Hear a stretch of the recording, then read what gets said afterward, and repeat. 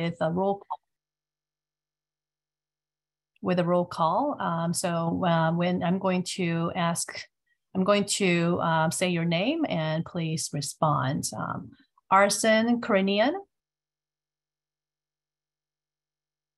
Hillary Calais. Yes, present. Jesus Martinez. Happy to be here, present. Okay. Lindsay Kralik. Hi there, present. Hi. And please let me know if I am not pronouncing your name correctly. Michael Iseri. Present. Oliver Unaka. I'm here. Thank you. Robert um, Hershenson. I'm here. Ryan Davis. Here. Smita Rajmohan. Present. Smita. Smita. Great. Okay. Is Mariah Jaworski present? As well as Suyin Choi. And Arsen Karinian is present. Had an issue with my link. Hi, Arsen. Welcome. Thank you. Okay. We have now completed the roll call. And uh, we're going to note for everyone present that a Zoom meeting, like a regular in-person meeting of the Privacy Law Group is recorded and it will be archived on the State Bar's website. Uh, we're going to, the Privacy Law Group is going to take items of the agenda in the order that they appear on the agenda. Okay. Um, at this time, we're going to ask the Privacy Law Group to introduce themselves. And um, as we go through and, uh, and introduce themselves, please um, say a quick um, hello and a description of your practice and uh, your interest in this participating in the consulting group. Janelle, would you announce the name of the member to be introduced? Arsen Kirian. Hi, I'm Arsen Karinian. I'm a partner at Mayer Brown in the cyber and data privacy group. Um, and I advise clients on compliance with global and domestic data privacy laws and security issues. Um, I'm excited to be a part of this board and um, improving the state of privacy in the United States, including California, and creating a privacy specialization, specialization for this evolving field. Thank you. Hillary Calais. Hi, I'm Hillary Calais. I am principal counsel at the University of California Office of the President. Part of my role is advising on uh, data privacy, both within uh, for our campuses, for students and employees, and for the medical centers for patients.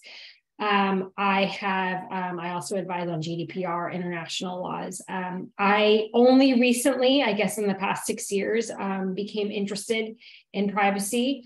Um, um, since then, I've expanded my practice and, you know, given, given the constitutional right to privacy in California, which is something that's incredibly rare nationally, I think it's, you know, I think it's, you know, important that we, that as a state, um, we evaluate it um, not only in importance of the laws, but in importance of the lawyers practicing. So I am very happy to be.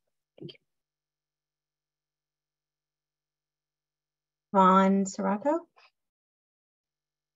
Hi, uh, thank you, Janelle. Um, I'm Joanne Serrato. I'm a partner in the San Francisco office of Baker Hostetler. Uh, before joining Baker Hostetler, I served as legislative counsel to the U.S. House of Representatives and also as advisory council member to the, the U.S. Department of Homeland Security. Um, I also served as inaugural chair of the California Lawyers Association, a privacy law section, um, as the privacy law section was established uh, two years ago. Um, I my practice is uh, mainly focused on privacy and cybersecurity, and we help uh, businesses comply with laws um, that are uh, regulating the collection and use of personal data. Um, as uh, the California State uh, Bar is considering uh, the specialization, I think it is um, uh, it's helpful to note that other states have gone ahead. Uh, we're going to be discussing that today. Um, what other states' efforts have been to create a specialization in California, and I'm very excited and honored to be serving as chair for this consulting group. Thank you, Jesus Martinez. Let's see. Good morning. I'm Jesus Martinez, and I already feel underqualified to be on this panel, just based on the introductions we've had. I am the general counsel for a technology company, Socionext America, which is based in Milpitas, California. Uh, for the past 20 years, I've been representing technology companies here in Silicon Valley, and privacy has always been a personal interest, but I decided to make it a professional interest, and I became certified through IAPP as a CIP, I think it's CIPPUS. I'm happy to be on the panel, and I hope I can contribute in a meaningful way. Thank you. Lindsay Krolik. Hi there, I'm Lindsay Krolik. I am a professor at Santa Clara University School of Law. Um, and I also maintain a private practice um, focused mainly on privacy. Um, I've worked in-house um, at a variety of companies in Silicon Valley for the last 20 years um, and try to bring a lot of practical um, real life experience to my now students. I'm very interested in uh, and excited to be participating in this working group um, to provide you know, a path for students who are interested in privacy to begin getting um, a real solid foundation um, that they can begin their practices with, as well as to provide the more senior lawyers um, recognition of, of where they're at. Um, I'm also particularly interested in the uh, intersection of data privacy and ethics. Thank you. Michael Isuri. Hi, good morning, everybody. My name is Michael Isuri, and I'm an attorney and software engineer. I specialize in technology law and specifically in disability rights and accessibility. For the past six years, I actually programmed one of the leading AI programs that's fully voiced in 45 languages and dynamically completes any legal and non-legal services. I also have one of the leading fully voiced maps database systems for homeless resources and natural disasters throughout California. I was previously heavily certified in cybersecurity in networks. Um, that was before law school, and unfortunately, law school kind of took into its effect, and I couldn't renew my licenses. I was originally on the committee of bar which I know most of the um, California State Bar employees. So hello again. And I am a former person from the Center for Accessible Technology, and currently I'm actually was appointed by ABA's Access to Justice Committee. So I'm serving on that for probably this year and maybe another year at still waiting for renewal. And last I'll mention is um, I have I've been uh, certified by Google as a unicorn. So I'm looking forward to provide my specialties and expertise in terms of this exciting new legal specialization committee. So I'm greatly honored to be on it. Thank you. Thank you. Oliver Unaka.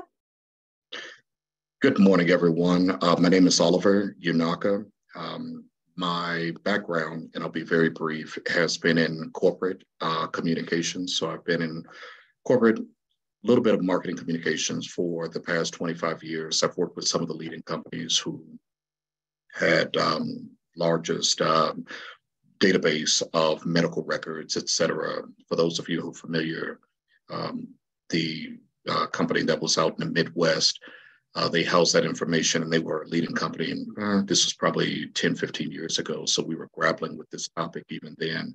Um, just really happy to be here and uh, look forward to working with you all and getting to know you all very, very well. Thank you. Paul Ananos. Paul Lanois. Uh, hi everyone, I'm Paul Lanois. I'm happy to, uh, to be here. Um, so I am a director at the European law firm Fisher, which is based in the uh, uh Silicon Valley. Uh, I also uh, teach privacy compliance law at the University of California Hastings Law School, uh, which is now known as uh, University of California College of the Law in San Francisco. Uh, before uh, joining uh, Fisher, I was working uh, internationally. I was vice president and senior legal counsel at a large international bank uh, located in Switzerland. I also worked at the bank Hong Kong's office. Uh, and uh, generally speaking, I advise clients in relation to uh, privacy, data protection, and cybersecurity law. Uh, so I am really honored to be on this working group and I'm happy to help in any way. Thank you. Robert Hershenson. Hey, good morning, everybody. So I'm Robert Hershenson. I uh, am a public member of, uh, of this group. Um, I uh, got involved, I previously served on the California Board of Legal Specialization, CBLS, from uh, 2017 to 2021. Uh, and uh, I'm an IT professional. I work for a company called Western Jet Aviation.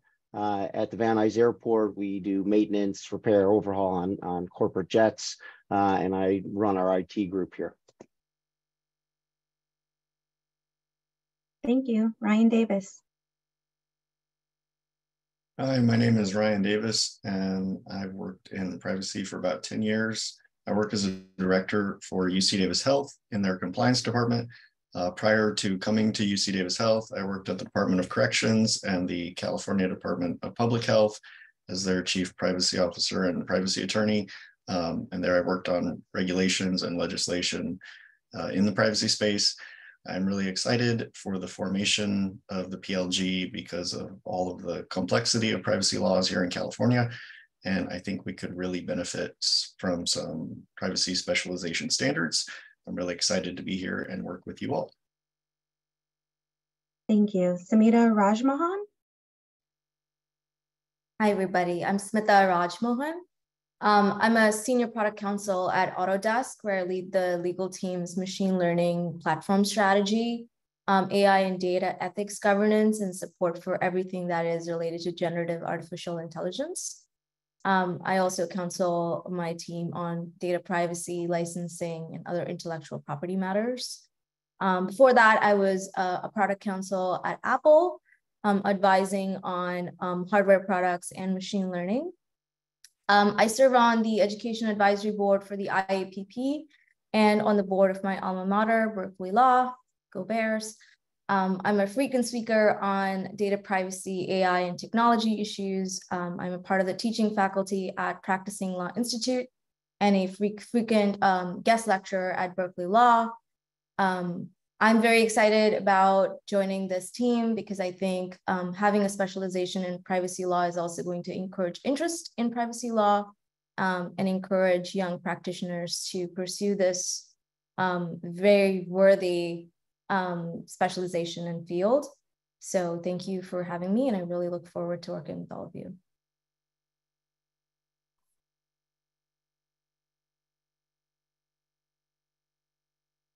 I'll go ahead and start off the introductions for State Bar staff. My name is Chanel Dela Cruz. I am the program analyst as well as a program coordinator for the Department of Legal Specialization, and I am excited to see what happens with this group.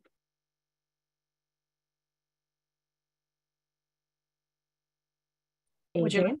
Okay. Oh, uh, Adrian Galang. Um, hi, everyone. I know I we started out uh, when we established this group. I was uh, communicating with uh, most of you. Um, I am the program supervisor with the legal specialization unit here at the State Bar of California. Uh, I provide uh, direct support, administrative support to the California Board of Legal Specialization.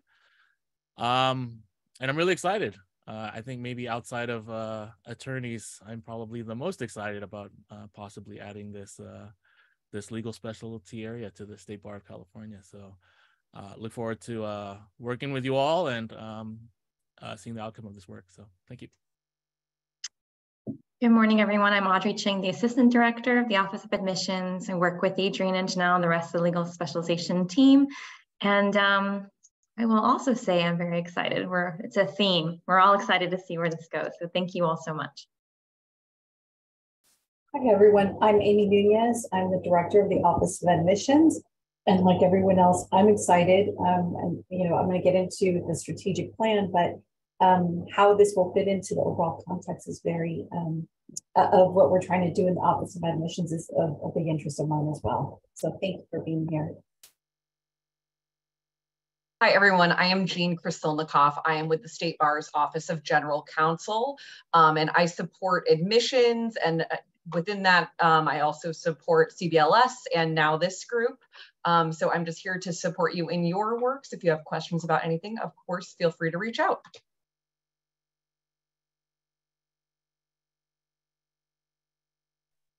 Well, Jean, we have one question, and Janelle saw me email her. I was asking about this fancy background. I like yours the best, but I see now it's reserved for team members. I think we will circulate those um, so that you can use them and have a fancy background too. I have the, the most up-to-date version, um, but you'll have a few to choose from. So, but thank you for the softball question. got it. All right. Does that uh, conclude the staff uh, introductions, Janelle? Yes, it does. All right. Did you want me to go through the administrative reminders before we start with the open session or um, will you be doing that? Go ahead and start with uh, 1B, uh, injections for public comment. Okay. Uh, well, before we do that, um, I think um, I it's my job to remind everyone to turn off your phones and uh, put the computers on mute uh, while not speaking.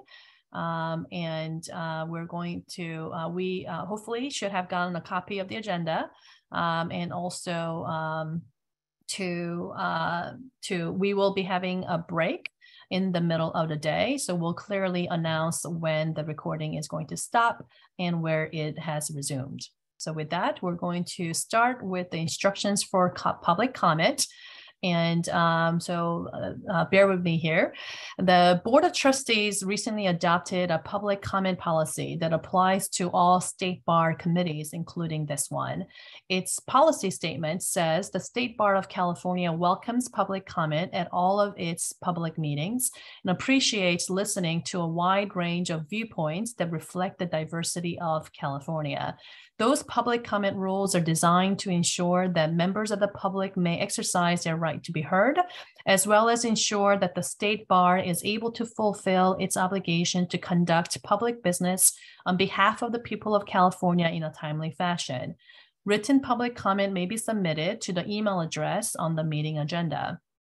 We encourage you to submit written public comments at least 24 hours prior to the start of a meeting. Written comments received less than 24 hours prior to the start of a meeting will be distributed the following business day. If you bring written materials to a meeting for distribution, they will be collected by the meeting secretary and distributed after the meeting concludes. For oral public comments, persons were encouraged to sign up to speak in advance of the meeting and will be called in the order they have signed up. Persons attending the meeting remotely will be called in the order that they appear in the attendee list. And in a moment, I'll explain how to raise your hand to tell us that you want to do that. Those joining us in the room today, uh, wishing to make a public comment, may sign up on a signage sheet that was available um, outside of the entrance to our meeting room. Of course, that does not apply here because we're meeting virtually. Speakers cannot cede their time to another speaker. It does not guarantee that all who wish to speak will be able to do so to facilitate hearing from as many members as possible. We encourage you not to repeat points that were made by previous speakers. Simply say that you agree with them to allow the committee the time needed to deliberate on the important topics that we'll be discussing today. We'll be limiting public comments to three minutes per person. As a reminder, the state bar's anti-discrimination and anti-harassment policy says the state bar maintains zero tolerance for unlawful harassment, discrimination, and retaliation. Employees must at all times treat all other employees, job applicants, and persons providing services to the state bar with respect and dignity in accordance with this policy. Likewise, the state bar will not tolerate harassment, discrimination, or retaliation against its employees, job applicants, or members of the public by any employees or by any person with whom the state bar has a business service or a professional relationship. If you're in Zoom and want to speak, you'll need to raise your hand unless you are already in the pre-meeting sign-up list. To do so, you click on the hand icon that's at the bottom center of your Zoom window. If you're participating by telephone, you may virtually raise your hand by pressing star nine. That's the star key and then the number nine. Our coordinator will call members of the public starting with the pre-signups, then the Zoom list, followed by in-person signups in the order that they raised their hands or signed up. Staff will enable the microphone of the speaker, start the timer, and then call out when 30 seconds remain. At this time, I will ask, do we have anyone that wishes to make comments?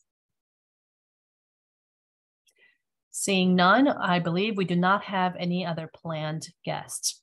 So at this point, I would like to turn over to Amy Nunez for the report on the State Bar Strategic Plan. Thank you, Juwan. Hello, everyone. Uh, we have a PowerPoint that we'll be presenting um, as part of um, the session. And as I mentioned before, I think learning about um, the State Bar Strategic Plan, the five-year plan, uh, will provide some overall context on how a privacy law specialization um, can fit into uh, this plan. So with that, uh, we'll start. Um, next slide, please. So uh, we have our strategic plan. Um, it's a five-year plan, um, and it was adopted by the Board of Trustees in May 2022, and it reflects the organization's vision um, for realizing uh, this uh, mission um, over the next five years. And it's grounded on the state's uh, state bar's mission uh, to uh, protect the public by strengthening the attorney discipline system, improving access and inclusion in the legal system, regulating the legal profession, and engaging partners. And so I'll cover the four areas and highlight to you uh, which of the goals is more relevant for the initiative that we're discussing here today. So uh, starting with goal one, um, next screen. Uh, the first goal of the strategic plan is to protect the public by strengthening the attorney discipline system. Uh, this has a less relevance to what is being discussed, but just to give you an idea, uh, this is the um, vision is that the state bar discipline system is and is recognized as effective, fair, and timely. Um, next slide, please. And these are the um, strategies for uh, achieving that goal. So it incorporates um, uh, adopting a new case processing standard of improving operational practice to focus resources on resolving disciplinary cases.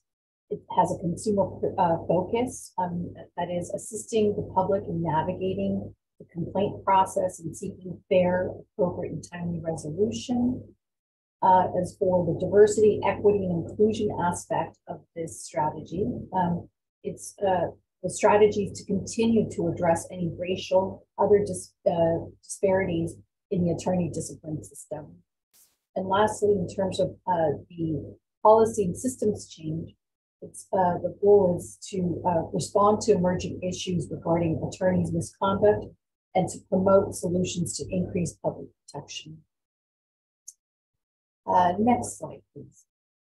So here in goal two, um, this has uh, more relevance uh, to uh, a, what a privacy, a law specialization bring.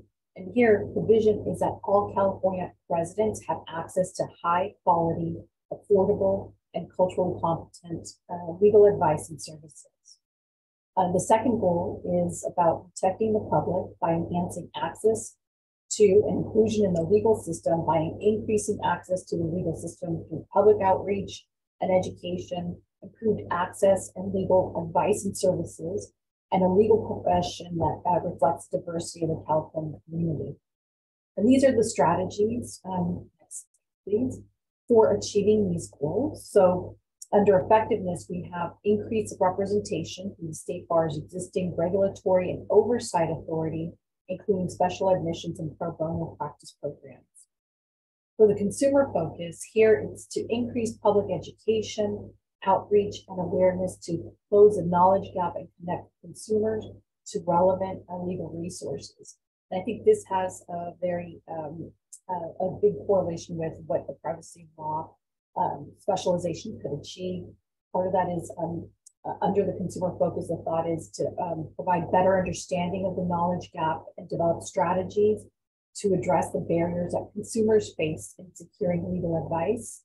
Um, and we know that uh, without a privacy law um, specialization that uh, consumers right now have to um, uh, you know, uh, find that and identify it for themselves. Uh, consumer focus also includes keeping abreast of the legal services market and how the changes in the market impact individual consumers. Uh, next, we also have an, another strategy under the school uh, that addresses diversity, equity, and inclusion is um, uh, has less relevance uh, to this privacy law group, but it's to support the law school uh, to profession pipe uh, to profession pipeline to, uh, to foster diverse legal profession representative of California's communities, particularly as related to race, ethnicity, and socioeconomic status. And as, uh, as far as policy and systems change, here it's to identify and advocate for innovative policy and regulatory reforms needed to increase access to legal services, particularly by disenfranchised, underserved, and rural communities. The next goal uh, has to do with um, protecting the public by regulating the legal profession of promoting the, uh, the ethical and competent practice of law, preventing misconduct by providing education, resources, and support for the legal profession, and the vision here is that state bar licensees exemplify excellence and personal responsibility in the practice of law.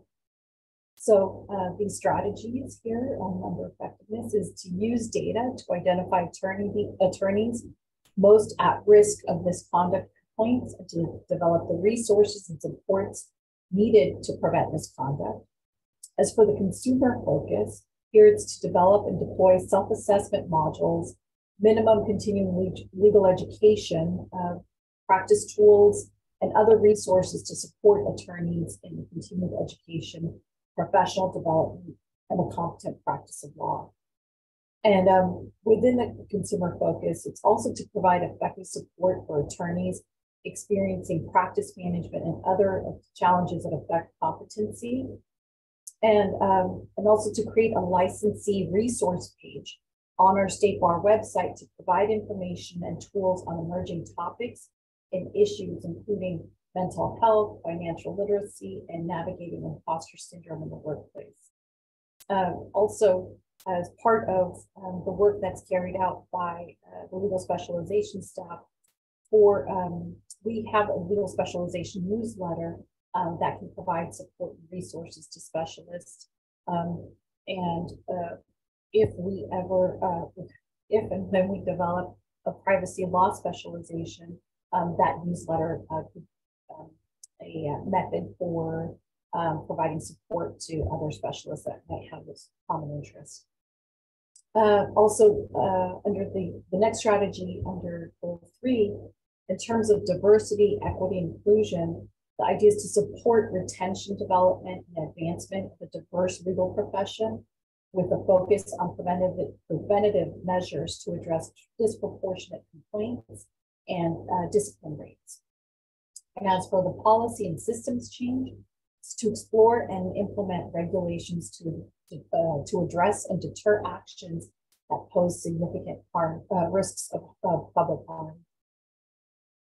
And the last goal here, and the fourth is to protect the public by engaging partners and stakeholders to enhance public protection and restore the state bar's credibility, reputation, and impact. The vision here is that partner and stakeholders are actively involved in and supportive of, of state bar's public protection initiatives, achievements, programs, and services. Some of the strategies here are, uh, in terms of effectiveness, is to increase public trust and consumer awareness by demonstrating competence, consistency, and transparency. As for the consumer focus, it's to establish collaborative relationships with community and consumer facing organizations and engage partners in collaborative work, groups, uh, which is very relevant to uh, what we're trying to accomplish here today. As for uh, diversity, equity, and inclusion, strategy to address that is ensuring that communication materials and resources are accessible to California's diverse communities. And lastly, is for the policy and systems change um, in uh, within this goal is to partner with stakeholders to increase protection and attorney regulation through legislation and policy change. And so uh, with that, you know, I want, I want to know, does anybody have any questions about um, the strategic plan and uh, how some of this context um, is uh, really relevant to uh, what this privacy and law group could accomplish? Any thoughts? Okay. All right, then with that, I will hand it back to you. Thank you. Thank you very much, Amy. Um, next, um, we're going to ask Jean to provide the orientation on the Rosenberg's Rules of Order and other recent revisions to the Board of Trustees Policy Manual. Jean? Hi, everyone. Janelle, can you pull up the PowerPoint when you get a chance? Um, so for those of you who are serving on a state bar um, sub-entity for the first time, um, we thought it would be really helpful to go over some recent revisions that were made to the Board of Trustees policy manual, which relate to um, public meetings. Um, and just as background, um, our meetings are governed by Bagley-Keene, which is the Open Meetings Act, and we can um, train on that at another point in time, but we wanted to just uh, provide this background to you so that you understand um, kind of the rules of the road for our meetings going forward. Um, so next slide, please. Um, so until recently, the Board of Trustees used Robert's Rules of Order as a guide in conducting our meetings, but recently the Board of Trustees and um, adopted a um, policy that the board and sub-entities will use Rosenberg's Rules of Order as a guide when conducting meetings. Um, and so Rosenberg's Rules of Order, if you're not familiar, um, you can Google it. It'll pull up a 10-page document. It's very, very simple. If you've seen Robert's Rules of Order before, it's a two-inch thick book. So um, this is, uh, it should make for a much easier time in understanding the rules for our meetings. Um, and as I just mentioned, we are subject to Bagley-Keene. So to the extent Rosenberg's rules of order conflict with Bagley-Keene um, or other state law, state law, of course, will control. Next slide, please. Um, so this is just an overview of the rules. Um, you know, we took a roll call vote earlier today, and that was to establish quorum, which is a majority of the members um, of the body. Um, Rosenberg's rules are a little bit different when it comes to the role of the chair. The chair is responsible for applying the rules of conduct. They have a right to participate in decision making, but should strive to be the last person to speak at the discussion and debate stage. And generally, the chair should not make or second a motion unless no other member of the body will um, do so at that point in time. Um, and then we discussed the meeting format. The chair, you guys are doing a great job so far. Uh, the chair announces the agenda item, number and name. They invite the presenters to report the item. The chair asks the members if they have any questions of clarification. Um, uh, and I'll talk about public comment in a moment. The chair invites a motion and announces the name of the member who makes the motion. Next slide, please. Um, the chair then determines if any member wishes to second the motion and announces the name of the second. Um, once the chair makes sure everybody understands the motion, um, they invite discussion. Um, and once discussion has concluded, the body votes on the motion. Um, if there's been substantial discussion, it's a good practice to repeat the motion just so that everybody knows what they're voting on. Then we take the roll call vote um, which is required under Bagley-Keene when we have a teleconference meeting. Um, and then the chair announces the results of the vote. And so um, just as a general matter, what this helps do is um, signpost for us as we go through a meeting and makes clear to the public what it is that we are and to the members of the group what it is that we are doing, where we are in the process. And one of the big changes, um, next slide please, Janelle, one of the big differences between um, Rosenberg's rules and rules that um, I've seen employed at other bodies is that generally you put the motion on the floor before discussion so that the discussion is focused. Um, and so that is a change that everybody is trying to get used to. And I will say we have not perfected it yet, but it's something that we're striving to do. So motions in general, um, this is what I was just talking about. It's best practice to have the motion before the discussion to help the body focus. Motions are made in a two-step process. The chair recognizes the member wishing to make the motion, and then the member states the motion. Um, motions can be initiated in one of three ways. The chair invites members of the body to make a motion, the chair suggests a motion, or, or the chair can make a motion. Next slide, please. Um, these are the three types of basic motions. Um, the basic, the first one is the basic motion, puts forward a decision for the body's consideration. So an example, I move that we create a five member subcommittee to plan our annual fundraiser. Um, a motion to amend, so if a member wants to change the basic motion. Uh, and a substitute motion is when a member wants to completely do away with the basic motion and put a new motion before the body. Um, a friendly amendment is one um, that uh, is, is just basically um, a slight change to the motion. Um, and it seems that the change is desirable to the body during the discussion. There can be up to three motions on the floor at the same time. The vote proceeds in reverse order, beginning with the last motion that was made. Um, I, understand that can get a little complicated. Generally speaking, I'll say we we we haven't seen three motions on the floor at any one time, but we will muddle through it if and when that happens. Next slide, please. Other motions, um, these are all prescribed by Rosenberg's Rules of Order. Um, as I mentioned, we are using this as a guide, so this is not, um, you know, it's not strictly required. And in fact the practice at the state bar has not to require has been not to require a motion to adjourn. So we actually don't even need to make that motion today when we're when we conclude our business so long as um, you know there isn't there isn't a reason to force adjournment. Um, other motions that we may have are a motion to recess, a motion to fix the time to adjourn, a motion to table an item, a motion to limit debate, uh, or a motion to reconsider.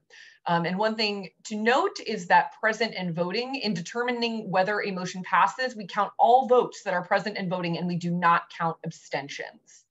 Um, next slide, please. Courtesy and decorum.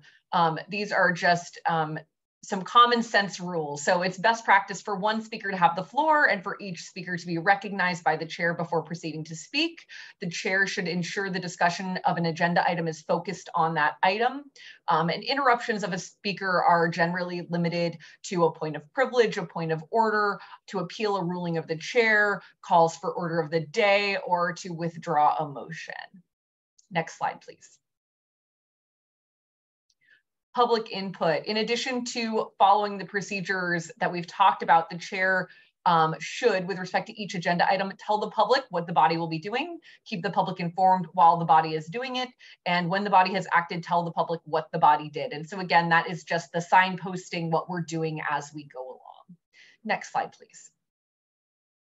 Um, so I promised to come back to public comment policy, and here we are. Um, in addition to adopting Rosenberg's rules of order, we have also adopted a public comment policy um, that applies to the board and to all sub-entities, including this group. Um, and the policy statement, um, you actually heard it before.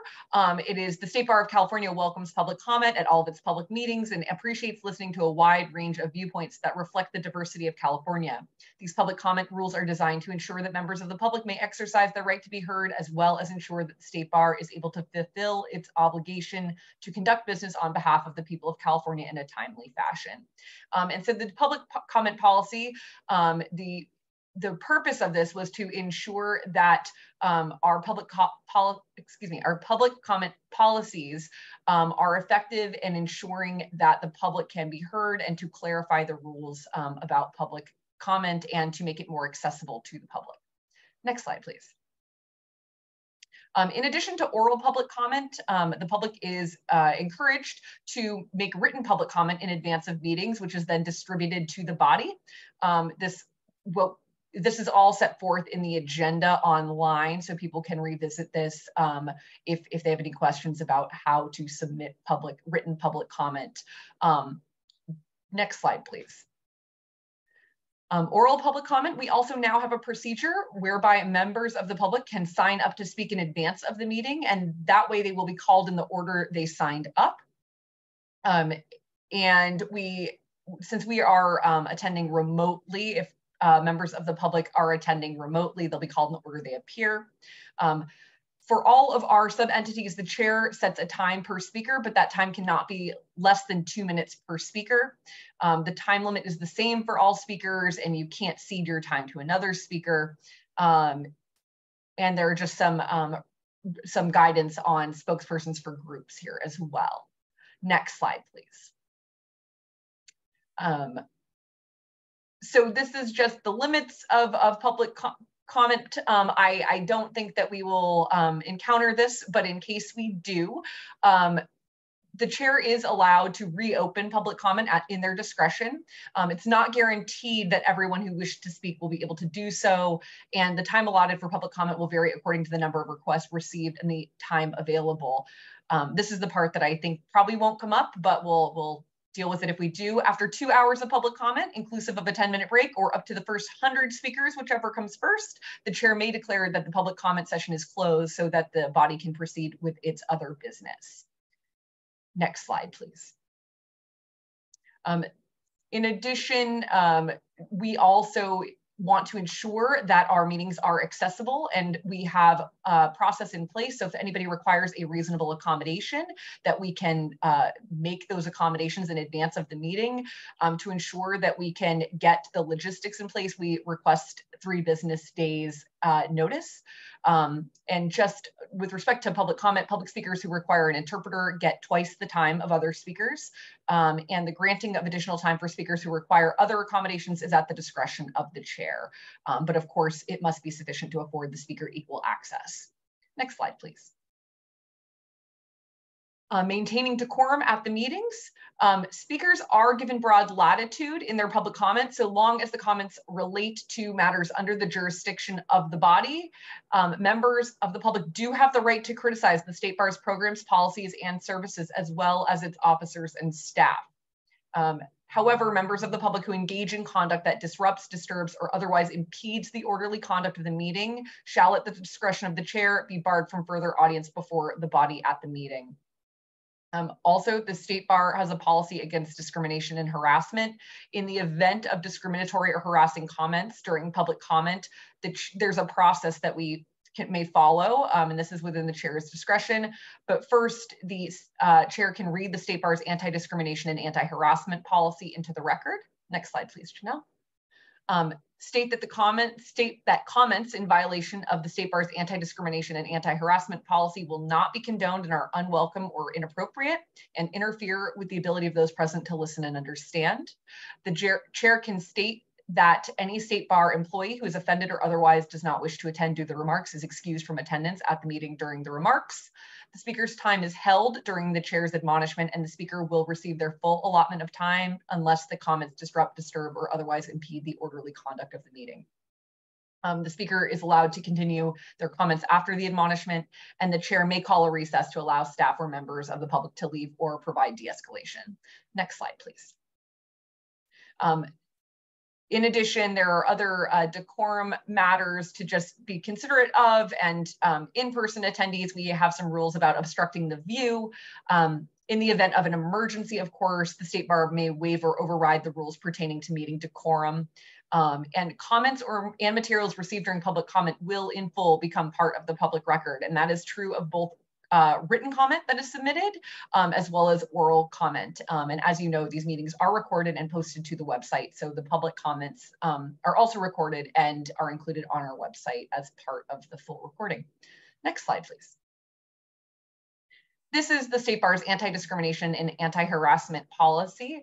Um, so in the event that we were, um, there was a, a reason for it to be read into the record, this is the text of it for all of you to see. Um, and with that, my presentation is concluded. Thanks very much, Jean. Of course.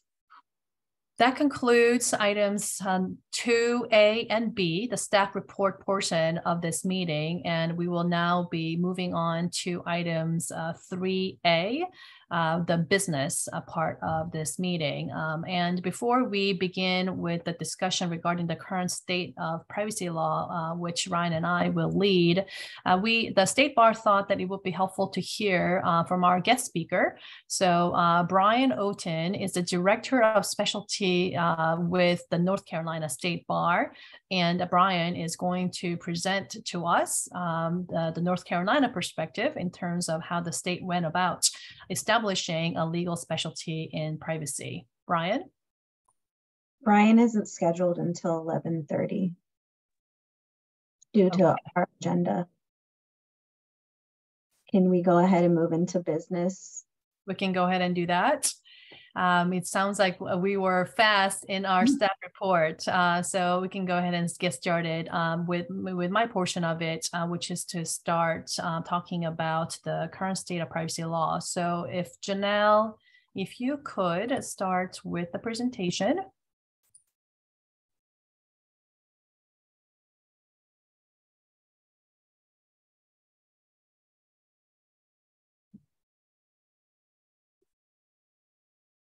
All right. So I'm just looking at the clock. So it sounds like uh, we will have our guest speaker come online um, in 40 minutes. So uh, if you could let us know, uh, Janelle, when Brian is online uh, for the meeting, we will take a break and uh, we will resume our discussion. So, um, so uh, first of all, um, I am really um, uh, deeply appreciative of the consulting group um, that we'll be working together uh, to discuss and to respond to the questions that the State Bar is posing. And we thought that it would be helpful to, um, to start with the purpose um, as this consulting group was being um, established. And you heard uh, from our staff reports first uh, the strategic plan and also uh, the rules um, of order in terms of how we're going to go about conducting the business. So please keep those in mind as we are beginning uh, the consultation and uh, keep the strategic plan in mind that Amy uh, presented to us and also the rules of order in terms of how to engage. Um, but specifically for this consulting group, this is the purpose um, that the State Bar has asked us to focus. So the consulting group on the establishment of a legal specialization is tasked with studying the practice area to assess whether there is sufficient need and interest to create a specialty as well as whether the area is sufficiently defined as to create a useful specialization. If the privacy law group determines that the certification in this area of law is feasible and appropriate, then we will be drafting the appropriate certification standards for review uh, by the California Board of Legal Specialization and the State Bar Board of Trustees. So that's the, the purpose um, that is given to us for this consulting group. Any questions there? If not, we'll go to next, the assessment questions. Uh, so we thought it might be helpful to break it up um, into the, the two assessment questions because as you see, the purpose really has two parts. You know, one is to assess the sufficient need and the interest to create a privacy law specialty. And then second is, uh, is the area, is the privacy law uh, sufficiently defined to create a useful specialization? And once we have answered these two questions in a sufficient manner for the state bar, then we go on to the second part of our purpose tasking, which is to create the certification standards. So just to let the consulting group and the public know, um, we will be focusing on our business on these two assessment questions uh, preliminarily. And when we have uh, reported uh, to the state bar uh, sufficient materials for them to, to approve us to move forward, we will then be moving to the second part, which is to discuss the certification standards. Let's go to the next slide. Now, uh, as we are beginning to think about um, these questions, the assessment questions that we talked about and the purpose for this consulting group, um, the state bar thought that it might be helpful to start with, um, you know, who, who is CBLS? Who is the audience uh, to whom we'll be providing these materials and, and how, um, how are the other specialty areas designed um, and how are they established uh, by the state bar. So uh, CBLS, as you probably heard, is California Board of Legal Specialization, and it's CBLS that is the audience um, that we will be reporting to. So once this consulting group has gathered the materials that sufficiently answer those two assessment questions that we just shared with you, um, then uh, we will be um, engaging uh, to present at the CBLS uh, meeting to get their approval to move forward, again, on, on deciding on the certification standards. Taking a look at currently what areas um, have uh, been approved uh, to be a legal specialization. We want to send to uh, show you uh, this is the current list. The State Bar of California currently certifies legal specialists in the following areas. And uh, the information about these legal specialty areas are available on the CBLS website. Let me just give you a moment to take a look at the current legal specialist areas and see if you have any questions. And we'll go to the next slide. In addition to talking about the current specialty areas, uh, so we can have a context on where privacy law specialty uh, would be fitting in um, for the um, in comparison to the other specialty areas, we also wanted to highlight um, that the, there are a number of uh, what, uh, what the State Bar considers to be accredited organizations. So there are accredited organizations listed here where they have been accredited by the state bar to provide these certifications. So uh, there is a, a, process by which certain organizations outside of the state bar can be accredited to create cert uh, certification standards and to, to be involved in the certification process and uh, maintaining the certifications.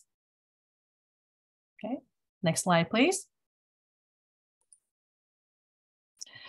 This is a general list of requirements to become a certified specialist. Uh, we know we uh, take a look at uh, the, the current 11 specialty areas that are existing by the CBLS.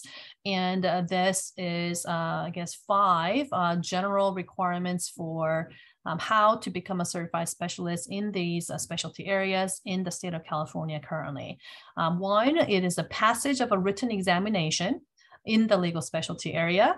Second is to have practiced law continuously for at least five years, spending at least 25% of the time given to occupational endeavors practicing in that specialty area. Third is to complete continuing education in the specialty area greater than that required of general licensees of the state bar. Fourth is demonstration of a broad-based and comprehensive experience in the specialty area based on completion of a variety of matters in the specialty area. And fifth, favorable evaluations by other attorneys and judges familiar with the attorney's work in the specialty area of law. So if you take a look at the application uh, requirements for the current existing uh, specialty areas, uh, these five are the general requirements um, that we have in the current spe- uh, certified specialist areas for California. Next, please. So now that we have talked a, a little bit about uh, the current state, um, how CBLS has 11 specialty areas that have been approved, and the general requirements for becoming a legal uh, specialist in California, we are going to now turn to answering the assessment questions as proposed um, earlier. So the need and interest for privacy law specialization. Next slide, please. We're going to be turning um, after uh, the, the, after the guest speaker to get um, engagement from this group on uh, on what are the kinds of materials that we would want to present to CBLS. And so uh, we wanted to provide to you um, what work has been done so far in terms of thinking about the need and interest for privacy law specialization. So the two applications uh, that uh, have been submitted recently, um, as you see here, back in 2019 and in 2021, uh, we thought that uh, pointing to these applications would be a good starting point. So in 2019, uh, there was an application for a credit accreditation of specialty certification program uh, by the IAPP, International Association of Privacy Professionals. And then there was the proposed new specialty application by the CLA. California Lawyers Association in 2021. So uh, if, if the consulting group and the member are interested um, in taking a look at those applications, they are available publicly and we have provided the links to those applications. In those applications, both in the IAPP application and in the CLA uh, proposal, uh, you will see there was discussion by the two organizations, IAPP and CLA, about the need about the need and the interest for privacy law specialization because the application for accreditation and the proposal for a new specialty application, both of those applications ask uh, for uh, discussion about the need and interest for uh, that particular legal specialization. So we want to point to you um, these two um, as, as background and as starting points. Um, and um, also to mention that this particular consulting group is in response to the CLA specialty application education. Um, as I mentioned, uh, we were there was a, a, a group of attorneys um, that were uh, participating from the CLA leadership, and several of us are have been appointed to be on this consulting consulting group. And that specialty application that was proposed by CLA was approved by the CBLS to move forward. So um, the IAPP application is great uh, background material. The CLA application is what this consulting group is responding to. Any questions there on the historical context of how this group came about? Okay. If there is no question, then we will go to the next uh, section of this uh, of this uh, meeting. Uh, so the State Bar um, had asked us to provide uh, some presentation on the privacy law today, and Ryan is going to be leading that discussion. And we will likely take a break um, after Ryan's presentation um, you know, at 11:30 uh, ish approximately when our guest speaker comes, and then we will open it up for discussion to this group on um, the materials that have been uh, provided in the rest of the the rest of the presentation. So uh, we will be discussing with the group um, the slides 29 and slide 30, likely after the break. So with that, Ryan, uh, please, um, if you can start with the presentation on the privacy law today. Yeah, thank you, Juwan. Um, so as Juwan mentioned, one of the things mm-hmm. the privacy law group was asked to do um, in the responding to the topic of privacy law as a distinct defined area of the law with its own specialty is to summarize what privacy law looks like today.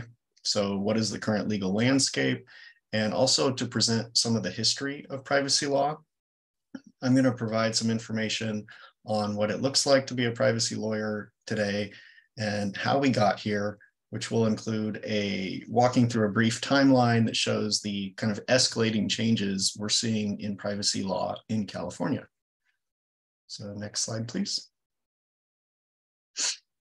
to give an overview of um, privacy law today, I would start off by describing that privacy law, one of the first things I'd say is that it's rapidly evolving. We've seen a lot of change, particularly in California in the last couple of years.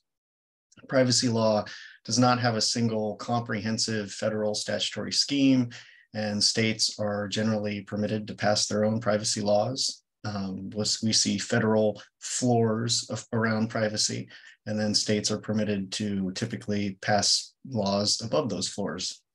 This has led to a wide variety of different privacy laws that are typically focused on particular sectors or information types.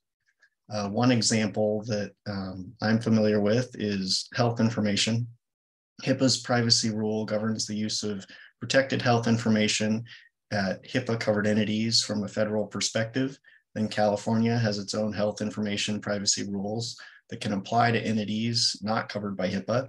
And because even at the state level, California is not simple on its own, we have many, many different statutes and regulations that apply to health information and no single cohesive health privacy section of the law. So the analysis can get a little complicated. On top of that, you have other states passing their own privacy statutory schemes. Um, this slide shows there are five states with something similar to California's uh, Consumer Privacy Act, and there are 17 additional states with consumer privacy bills being proposed. You layer on top of that hundreds of international privacy laws and regulations, potential contractual requirements, court decisions forthcoming proposed rules from state and federal entities, and finally, privacy best practices that we see in the industry. And it's just kind of a lot to track. It is a complex and evolving space. And while privacy initially started out rather slow moving, uh, legally speaking, with the advent of technology and data collection by government and private actors and the intersection with cybersecurity, it is now one of the fastest changing areas of the law with many regulations to take into consideration. So next slide, please. So how did we get here? Well, over the next four slides, I will give a timeline of privacy laws development, and I will share with you some of the highlights. The timeline certainly is not comprehensive, but I tried to capture most of the notable events. Um, I got a lot of this from the information, oh, I got a lot of this information from the University of Michigan, and I encourage you to take a look at their webpage. The link is at the bottom of the slide. But I also added in some California specific high points as well. Uh, so to begin, we have the creation of the US Constitution in 1789, which does not specifically state that there's a right to privacy, but instead courts have found that there's a right to privacy in the Third Amendment's freedom from having to quarter soldiers as a freedom from government intrusion in our personal affairs. We have the Fourth Amendment guarantee uh, of freedom from unreasonable searches and seizures without probable cause. And it's cited by courts as evidence of a right to privacy in a person's body, homes, papers, and personal effects. And then we have the Fifth Amendment's protection against self incrimination, which has been interpreted as justification of protection of private information. So over time, the Constitution has been interpreted to create privacy rights at the federal level. I note that these privacy protections are aimed at protecting citizens from intrusion by the government, but over time, uh, we've seen privacy law evolve to protect against intrusion by private companies as well. And that's really kind of where the focus is now. Um, so next on our timeline in 1890, about 100 years later, we see Justice Brandeis publish a law review article advocating for the right to privacy and articulating the right as a general right to be left alone. This is one of the first times we see privacy being raised as a major issue in legal writings. Then in 1914, we see the establishment of the Federal Trade Commission, which has been the chief federal agency on privacy policy and enforcement since privacy began to pick up momentum in the 1970s.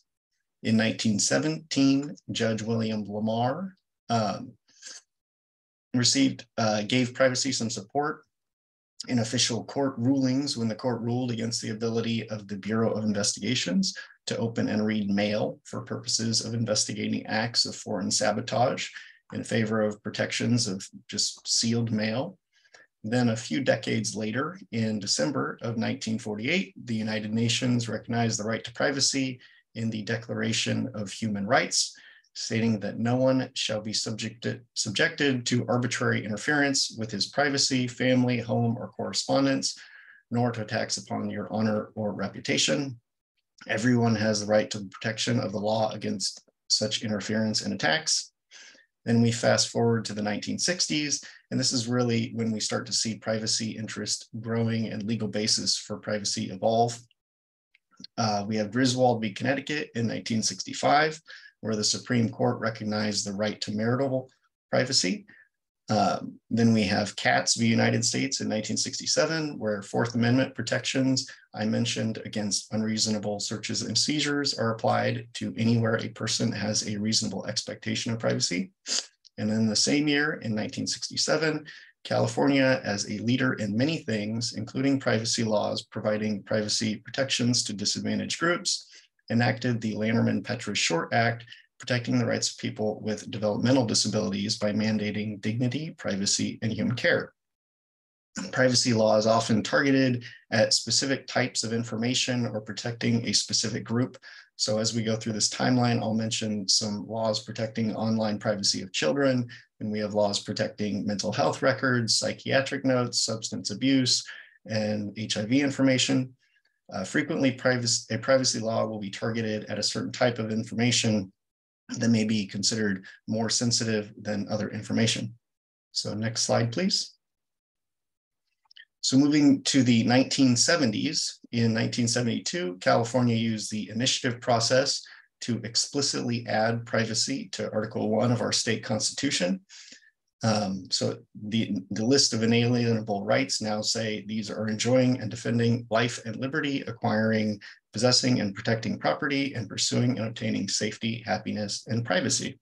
And that really is kind mm -hmm. of mm-hmm. a special thing. 1972 also had the Supreme Court privacy case, Eisenstadt v. Baird, which affirmed the right to privacy under the Constitution for all individuals, regardless of their marital status. In 1974, the federal government passed the Privacy Act of 1974 with a very creative name, and also FERPA, protecting information collected by federal agencies and the privacy of student education records maintained by all schools receiving funds from the US Department of Education.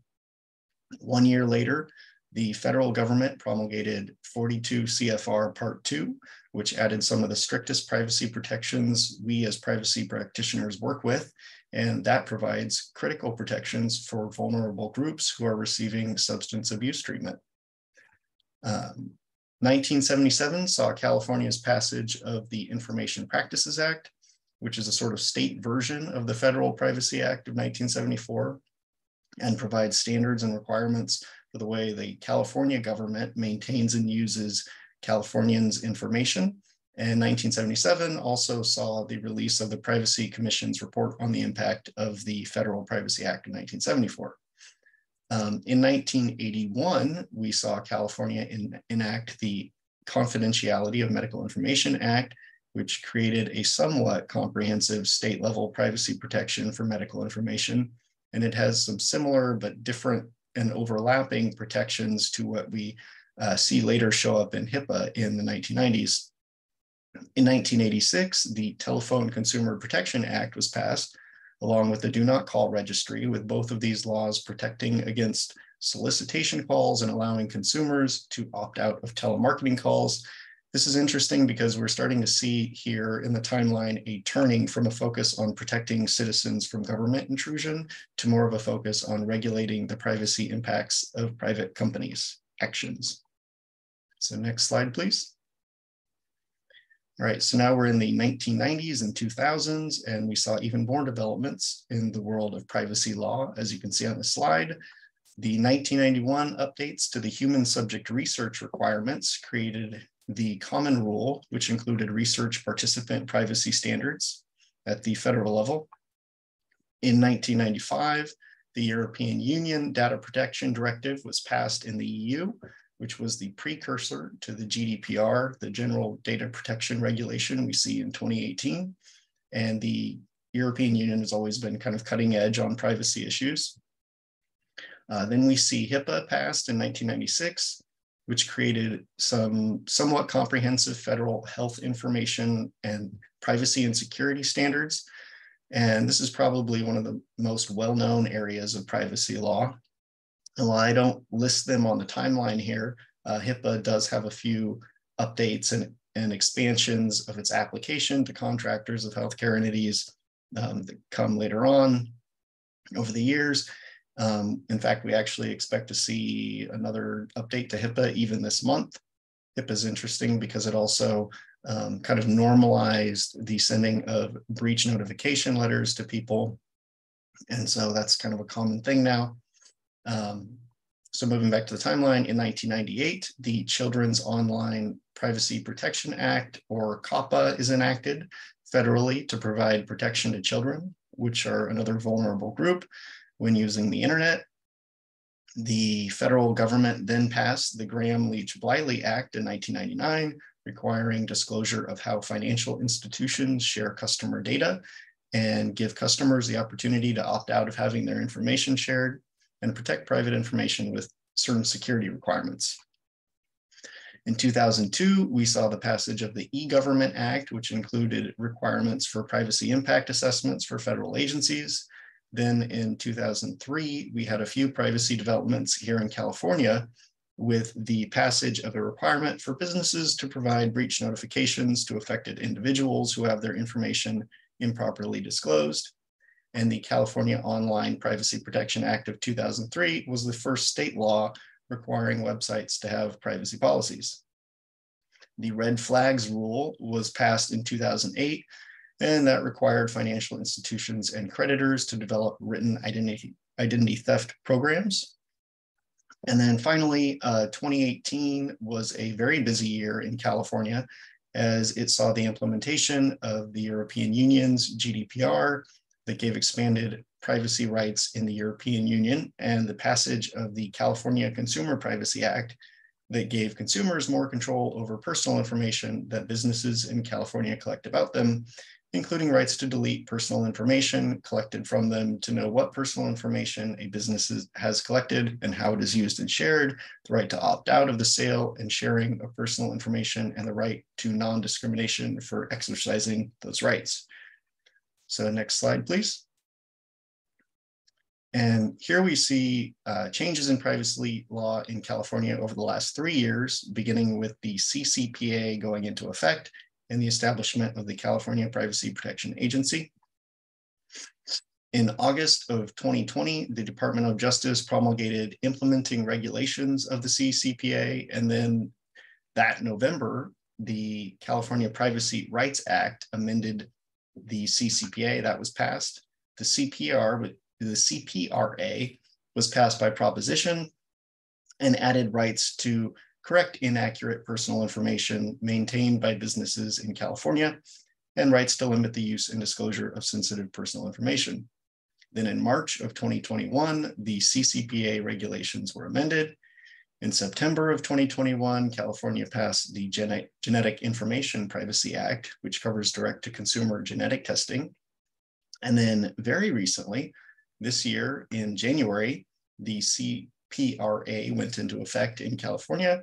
And just last month, the CPPA, the California Privacy Protection Agency, submitted a regulatory rulemaking file to the Office of Administrative Law.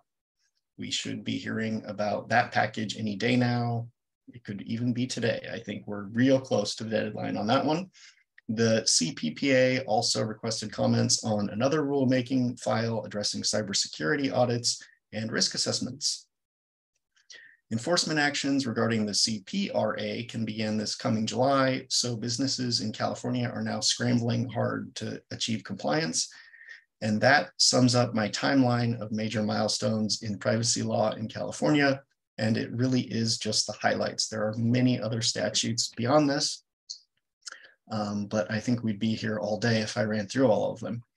Um, so there are lots of uh, considerations that we as privacy lawyers need to take in on a daily basis. Uh, next slide, please. Okay, so this slide just highlights the federal versus state considerations we have to consider when reviewing the law for specific privacy issues.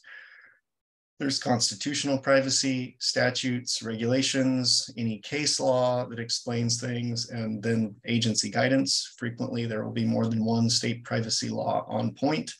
And if you're working with entities that cross state lines, there may be other states' privacy laws, or increasingly, there are international considerations because of the connection, connected nature of our modern world.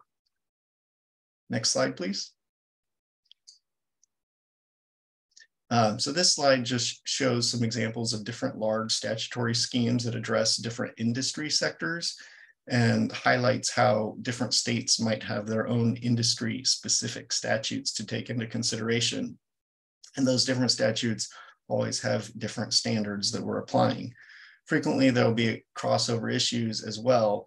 So for example, in the health, healthcare space where I operate, um, my analysis frequently includes HIPAA and California's confidentiality of medical information law, but I also deal with issues regarding FERPA, the TCPA, IPA Information Practices Act, COPPA, the CCPA, uh, Part 2 at the federal level, and then uh, just a wonderful mix of health and safety code statutes that don't really have a great name, but they're there and you need to look them up and take them into account with your analysis. So next slide, please.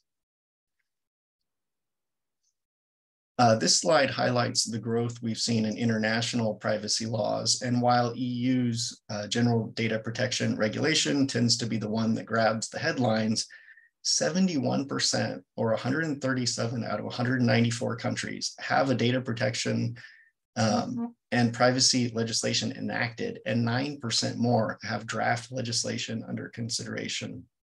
So that's at the, you know, that's at national levels. That's not even considering state levels.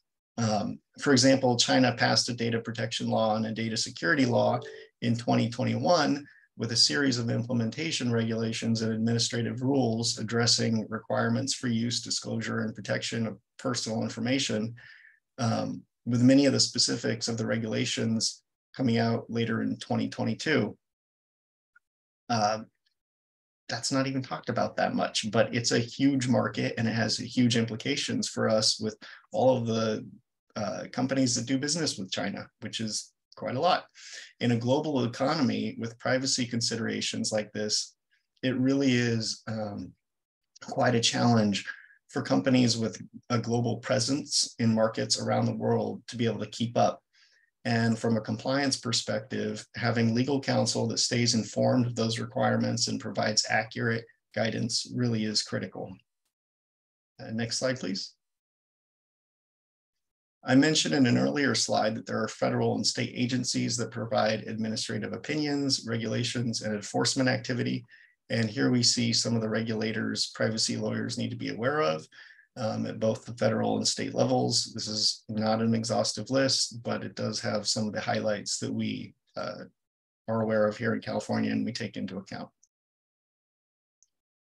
Next slide, please. Here you really see kind of the evolution of the uh, CPPA, the CPRA, and the Privacy Protection Agency. Um, they really make those acronyms a mouthful. Uh, I thought about sharing a list of all of the privacy laws in California um, to kick this off. And the best list that I could come up with is on the Attorney General's website. But when I started to convert that into something to share, the list was so long that I decided to just share a link because it would be a ton of slides. Um, also, the list does not include all of the implementing regulations of the statutes that are listed there. So it's it's a long list. Take a look at it, and um, with if you added in the regulations, it's quite a bit longer. So next slide, please. Um, so where does all of this leave us on the state of privacy law in California today? And what is our overall trend? Well, privacy laws were initially focused on preventing government intrusion into personal matters, but over the years, uh, this has grown to create rights for individuals and obligations for both government and private entities. As the statutes and regulations have grown, they've covered more individuals and more sectors of our economy, and we've become more interconnected um, and with our digital economy, we see more crossover of those different sectors and their respective privacy laws and privacy statutory schemes. The legal analysis has become complex, and privacy lawyers have to be continuous learners and stay up to date on a truly rapidly evolving area of the law. We have to be willing to learn new areas in real time as rules are, are implemented and released. As I mentioned, we could get a couple this week. One thing I want to do highlight is the technical aspect of privacy law. I believe we have a couple uh, information cybersecurity uh, experts uh, on our PLG, and I think that's that's really critical. Um, privacy is uniquely influenced by technological advancements in cybersecurity and big data analysis. We're seeing rapid changes in artificial intelligence and computing power that change security postures and the way we store our private information. And what we once considered state of the art data de identification standards um, may be just identifiable data tomorrow. Encryption and data security standards are constantly evolving with increasing computing power, and effective privacy lawyers need to maintain a working knowledge of technical issues uh, to effectively recognize some of our privacy issues when we work on behalf of our clients. We need to be able to partner with and effectively support our IT and cybersecurity counterparts. And that means being able to speak their language. So we have to strive to maintain that necessary level of technical and information security expertise to be good, effective partners. Next slide, please. So this is my last sl slide. And despite the complexity and challenge of the various privacy laws and standards that we work with, um, I wanna highlight what privacy law today does and what an effective privacy lawyer can help their clients with. Privacy laws at their core create trust. Individuals are able to know their rights and what will happen to their information, and users of information know their responsibilities.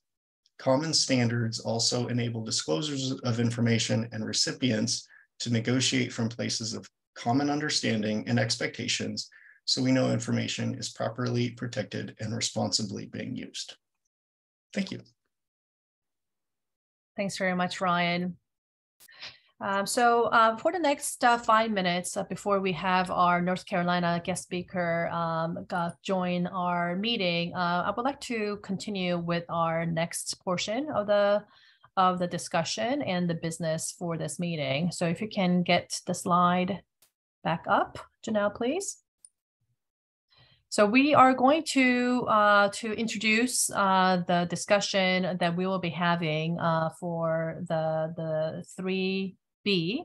Um, and uh, we will have the guest speaker speak and we will break and we'll come back and hopefully we'll be able to hear from um, the individual members of the consulting group. So um, as uh, Ryan's um, you know, very um, eloquently presented in terms of the timeline, um, the evolution of the privacy laws, the federal, the state, and the international privacy laws, we really kind of talked about how um, it has developed over time and how um, the, the new laws are really kind of coming uh, fast and furious. You know, we're, we're, I think hopefully we have provided uh, some information to give you the historical context, but also the speed with which the new uh, emerging laws are being established and also um, how the technology changes are uh, really kind of uh, making it a, a challenge for the, the lawyers uh, to, to stay up to date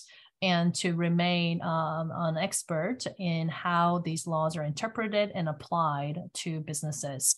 Uh, so if you can go to the next slide, um, the questions, uh, here is the list of the questions that the State Bar is asking for us to answer. Um, and uh, I would like to highlight here that it's not just uh, impact to the businesses that we are concerned about. We are concerned about the impact to the public and we're also going to be talking about how does the specialization benefit the public and, and the businesses um, and, and the clients that we have that are businesses and also individuals. So the first question that the State Bar proposed uh, for us to answer and we're going to be sharing in the next slide um, the list of materials that we hope will be responsive to these questions. So the first question was, um, can we take a look at first, what are the California privacy law cases? And um, the first question is this question, right? How do we uh, how do we define what is a California privacy law and what is not? And once we have that scope, uh, can we take a look at um, whether they are represented by attorneys or are they pro se cases? So that's a question of um, really kind of thinking about, again, the need assessment, going back to our assessment questions. Um, does, does the fact that a number of cases are being filed and they're being represented by attorneys, does that say something? Or are cases being filed pro se and uh, does the fact that uh, there are um, X number of cases being pro, uh, being filed pro se versus other, um, how does that um, answer the state bar's question on the need for privacy lawyers? That's the first question. Second question is how do the privacy laws impact the California public? And as you see there, we have separate questions to answer. It's not just the impact to the businesses, but also the California public. So please keep in mind um, that as we are talking about the materials that we're putting together for the, the state bar to consider, uh, we want to talk about how the laws impact the public and also how they impact businesses. The, the last three questions are really focused on um, so what? So if we were to create a privacy law specialization, how, how would that benefit the public? How would that benefit the licensees of the bar? And then how does it advance the state bar's mission? So again, it's, it's three different ways to think about how the law, uh, privacy law specialization would benefit the different stakeholders. And so um, we're gonna go next to the, the next slide, please. Um, as we are thinking about um, these findings, uh, here is a list of findings that we would like the consulting group to help uh, put together. And uh, while we are thinking about what materials to pull for each of these topics, uh, we please keep in mind the questions that we are uh, we have been asked by the state bar to answer. Uh, we have broken here um, again just to help organize. On the left hand side is the need and interest question. And on the right hand side is the privacy law as a defined area of law. Um, and of course, um, you know, based on the cons uh, consulting group's uh, comments, uh, we can we can move this from one category to another. Uh, but this was our um, kind of uh, first presentation in trying to think about uh, which of these findings fall into the need and interest question? Which of them fall into defining privacy law as a defined area of law? Um, these are not written in stone. Um, of course, some of these answers are going to be responsive to you know, one or both of the assessment questions. On the left-hand side, we have other states with privacy law specialization. We hope that that will answer uh, part of the need and interest question that it's not just California that has 11 specialty areas, uh, but the other states that have currently already a privacy law specialization the number of bar associations that have a privacy specialty. Uh, we, we have bar associations like the California Bar Association, the CLA, the California Lawyers Association, that have established uh, privacy law as a separate section, but there are five other states. Um, and I would say the question is not just limited to state level bar association, but we know that there are local, uh, there is uh, Orange County Bar Association, there is the Bar Association San Francisco, there are uh, ethnic and minority groups um, um, associations like the Asian American Bar Association that have um, established a separate section um, that's focused on privacy. So the question about bar association is broad. The next is the California privacy cases. That's responsive to the question that the state bar was asking. How did they, how do we define what does it mean to have a California privacy case? and how would we go about uh, putting uh, presenting to the bar um, that the California privacy cases show the need and interest for privacy lawyers.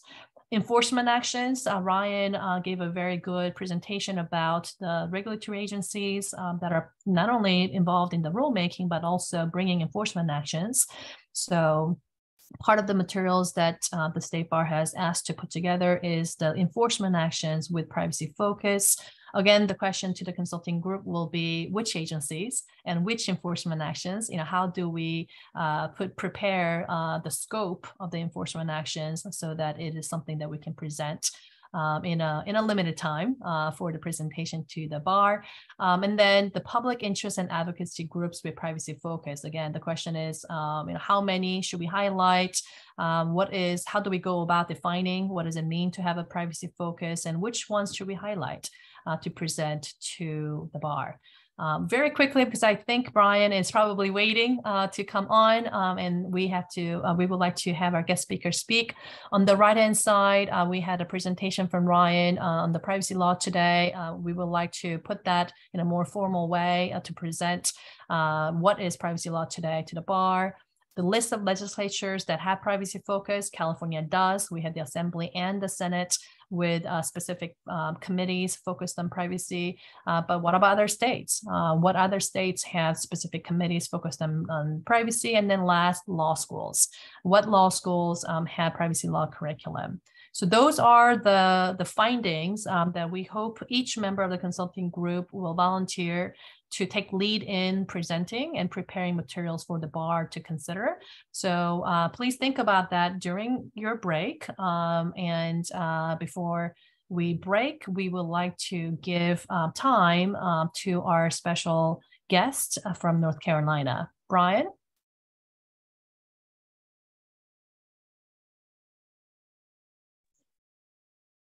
Hello, everyone. Can you can you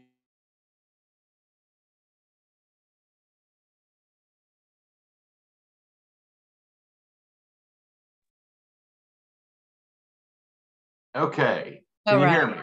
Yes. All right. I have no idea how this is uh, looking right now. I can't see. Uh, hopefully, it's framed fine. You can play the game of what books and Funko Pop characters are on my bookshelf behind me um, while uh, while I do this. So, uh, thank you for having me. I'm Brian Oten. I'm with the North Carolina State Bar Board of Legal Specialization. I'm the director for the specialization program here in North Carolina, um, and I was asked to join you all to just talk about our privacy and information security law specialty uh, which has been in existence now for roughly five years. We certified our first uh, specialist in this area in 2018. So um, that said, what I want to do first is uh, just make sure that uh, you all can see my screen. I'm gonna, I've got a very short presentation. I understand I'm just here for about uh, 30 minutes to give you an overview of our program as well as uh, give you all a chance to just ask whatever questions and see if I can give you some answers from our experience in putting this specialty into existence um, and maybe uh, offer any sort of uh, insight of you know what we might do differently if we were doing it over again right now. Um, so uh, let me first ask, can you all see, are you seeing the screen, the presentation? Can I get a quick, all right. See, I see some some thumbs up. That's fantastic. Thank you. Um, so let me just give you a quick overview of how North Carolina operates so you can understand the context in which this particular specialty came about. Um, because we do things a little differently in North Carolina. I understand that California is in a big transition right now from the unified bar to kind of the separate uh, state bar uh, as well as bar association. Um, so this, what where we are at, it sounds like you guys are kind of moving into that direction. So it might start sounding a little more familiar, but let me just make sure we're all on the same page here. Um, so first, uh, just as far as background, you know, like I said, the North Carolina State Bar is an agency, a state agency here in North Carolina that's tasked with regulating the legal profession. We are separate from the Bar Association. We are mandatory, but we don't do anything but regulate the profession. That's discipline, issuing ethics opinions, or uh, you know, amending the rules of professional conduct, things of that nature. Um, incorporated in our regulatory function is the legal specialization program. Uh, the legal specialization program was created in the early 1980s, about 1983. I think we certified our first folks in 1987. Uh, but we were created uh, to really, even before we had mandatory CLE, this was supposed to be the incentive to get folks to take CLE and raise the competency of the bar. But the, the purpose, of course, is to identify for the public lawyers that have particular proficiency in different practice areas. At the moment, we have 14 different specialties. Um, our first ones were bankruptcy, real property, and then estate planning and probate. Um, you can see here, these are all the specialties that we have. And our newest ones, the, the, the most recent one was child welfare law. That came into existence uh, early part, I should say late 2021.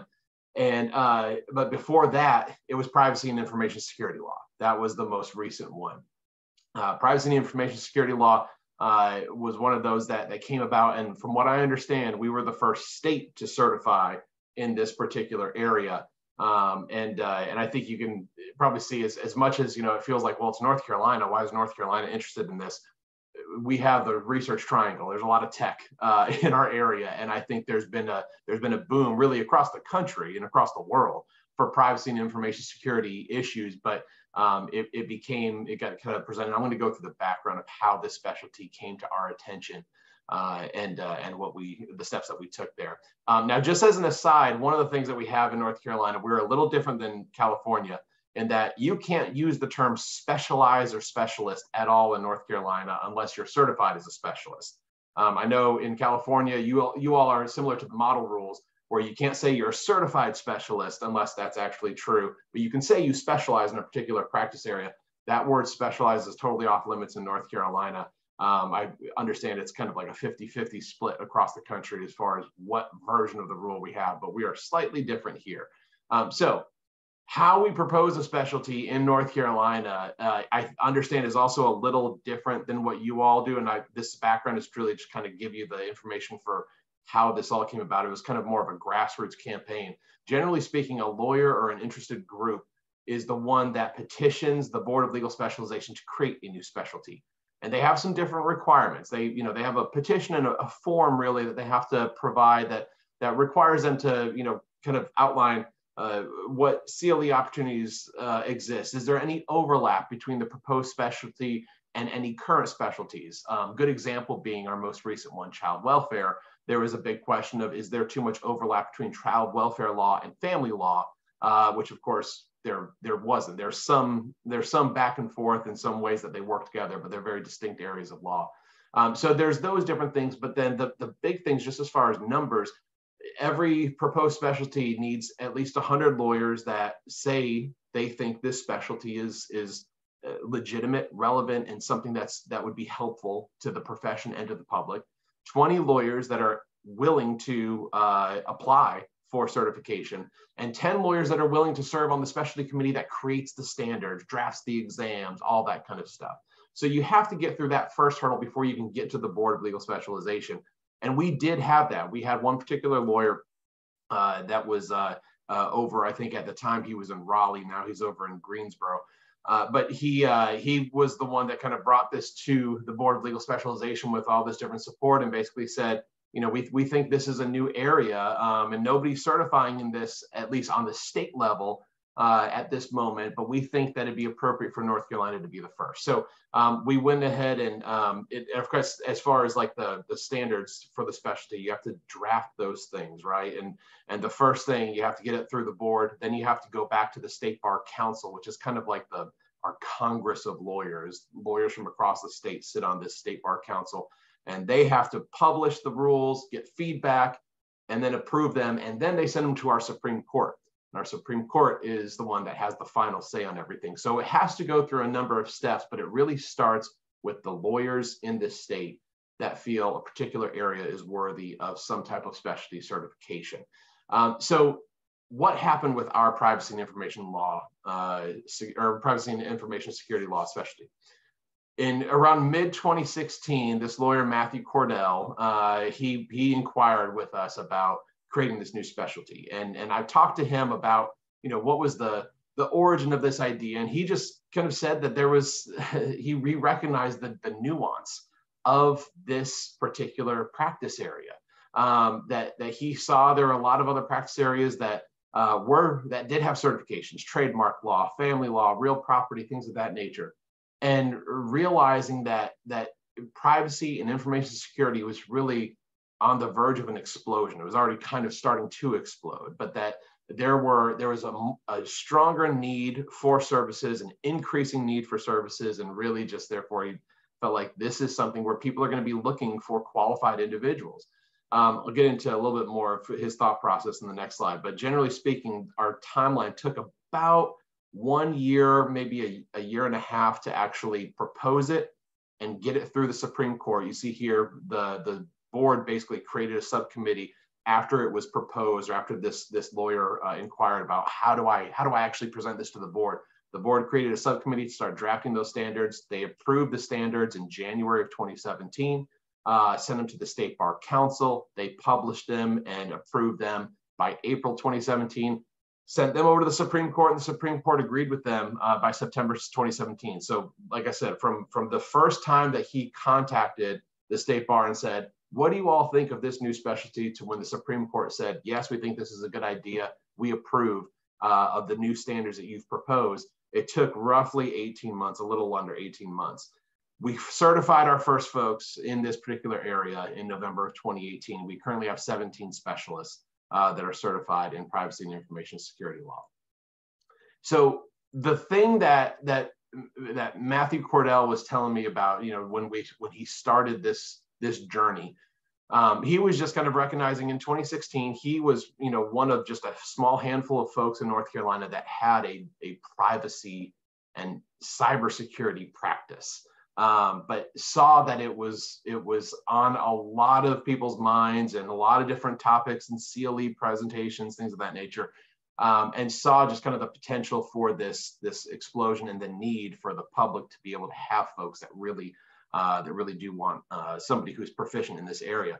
And, and at the time, there was only the IAPP. I'm sure you all are familiar with IAPP, uh, but IAPP, they offered that um, CIPP US certification, which was not exclusive to lawyers. Both lawyers and non-lawyers could take it.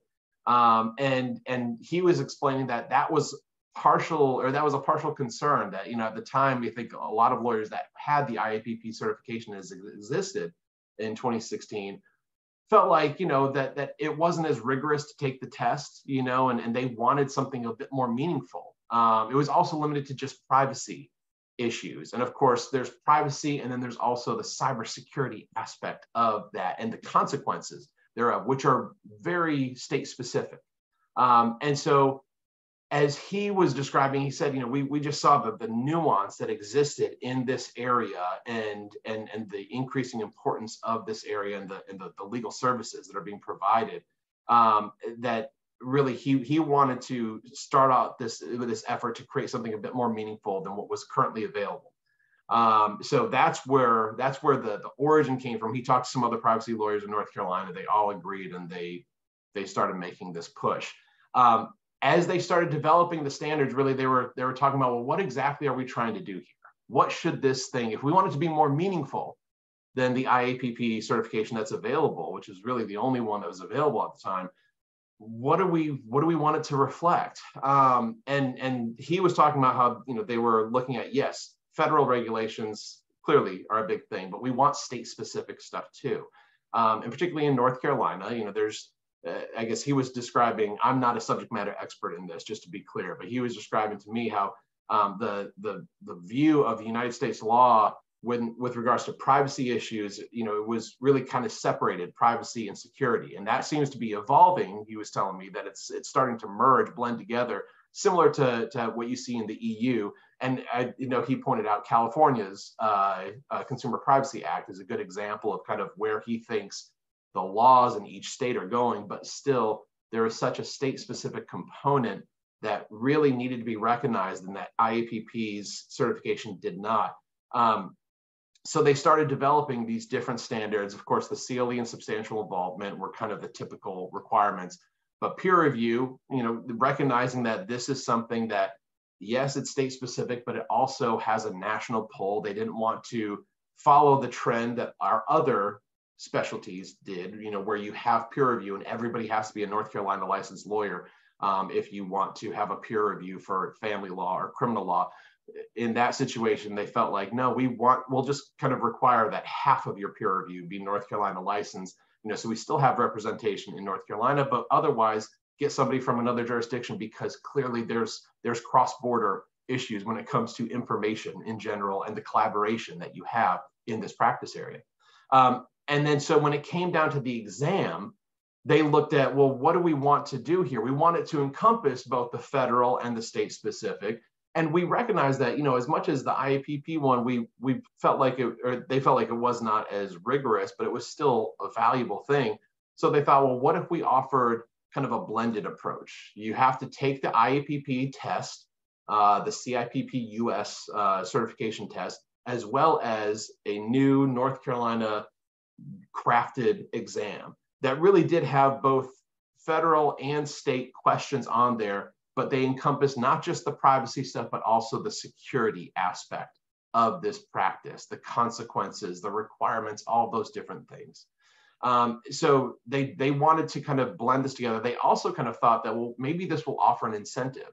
Those that are certified by IAPP, uh, if we say that if you've passed the IAPP test, you kind of are halfway there through the exam to be North Carolina certified.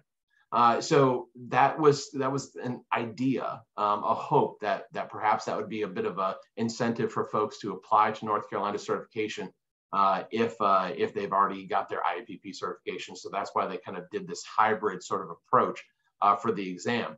More on that um, shortly, because when when I was talking to him about well, what are you doing now? And what would you would you do it the same way all over again? And this is where he was talking about that you know the IAPP now has this privacy law specialist. I guess that came out in the midst of our efforts to create our new specialty. You know they they felt like the CIPP US uh, certification was just not as as impactful as they thought it should be from a lawyer perspective and it seems like IAPP had heard that feedback from a number of sources as well, and they created the privacy law uh, specialist certification, which is now ABA approved. Um, it is more rigorous, but it is still focused on privacy. Um, and and that was something where they still felt like you know that was a very helpful thing um, that they did, but they wanted the security aspect because it's you know it, it's the more complete picture. Um, and so he was what his. I asked him if he had any recommendations for you all, any other jurisdiction that is looking to start a privacy specialty.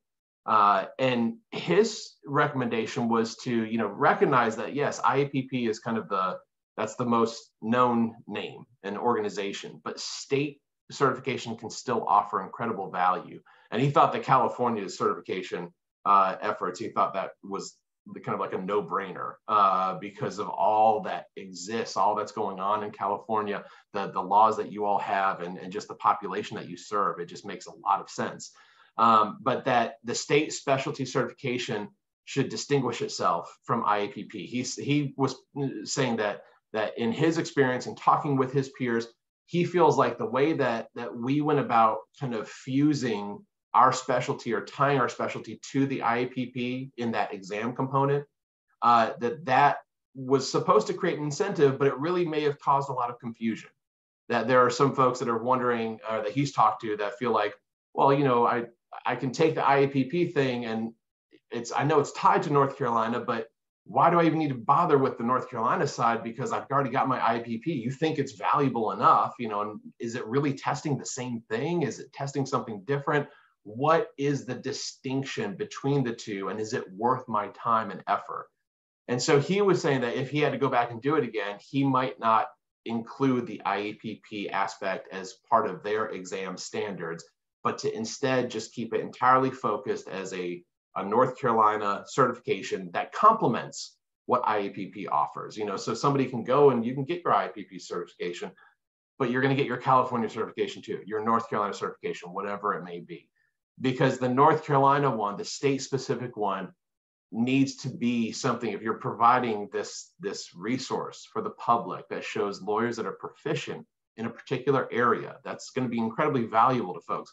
But they need to know the proficiency is in the jurisdiction where they exist. And and a lot of these laws yes there there's a lot of federal stuff out there but there's so much state specific stuff out there that really requires a proficient lawyer in that jurisdiction. And he felt like it would have been the better thing to really kind of separate and have it exclusively focused on the state requirements. So um, that was, and of course, to encompass both privacy and security. Privacy laws are certainly important, but that the security aspect of this practice area is so critical uh, when advising folks about, you know, what happens, kind of that second step if something bad happens, what, whatever it may be. So um, that was his his recommendation, um, and I have to say, being uh, kind of, I guess, our, our, our director of the program, I agree with his recommendations. I see, you know, we've we've got we've had a couple of folks that are interested in our certification, but I know I've seen their comments of, oh, well, I have to go take the IAPP one. I'm not interested in taking that one. You know, they have their reaction to the current CIPP US uh, certification, and it's evolved since then. And some folks have just decided I I'm not interested in North Carolina because I have to take that other test, and I'm really not interested in that test. Um, so I'm just not going to pursue it at all. And I I feel like that may be something that we need to adjust in the future to kind of uh, I guess uh, separate ourselves from that and just have a, a purely North Carolina drafted administered exam that may be complementary to what's going on with IPP, but it really stands on its own feet. Um, and, and so we're, we're considering that um, as, as an adjustment for the future of our program. But um, with that said, I just want to give you that, that overview uh, and open this up for questions. Um, I'm going to stop sharing my screen so uh, we just have a, a, full picture of everybody here. I'm happy to answer any questions you all may have.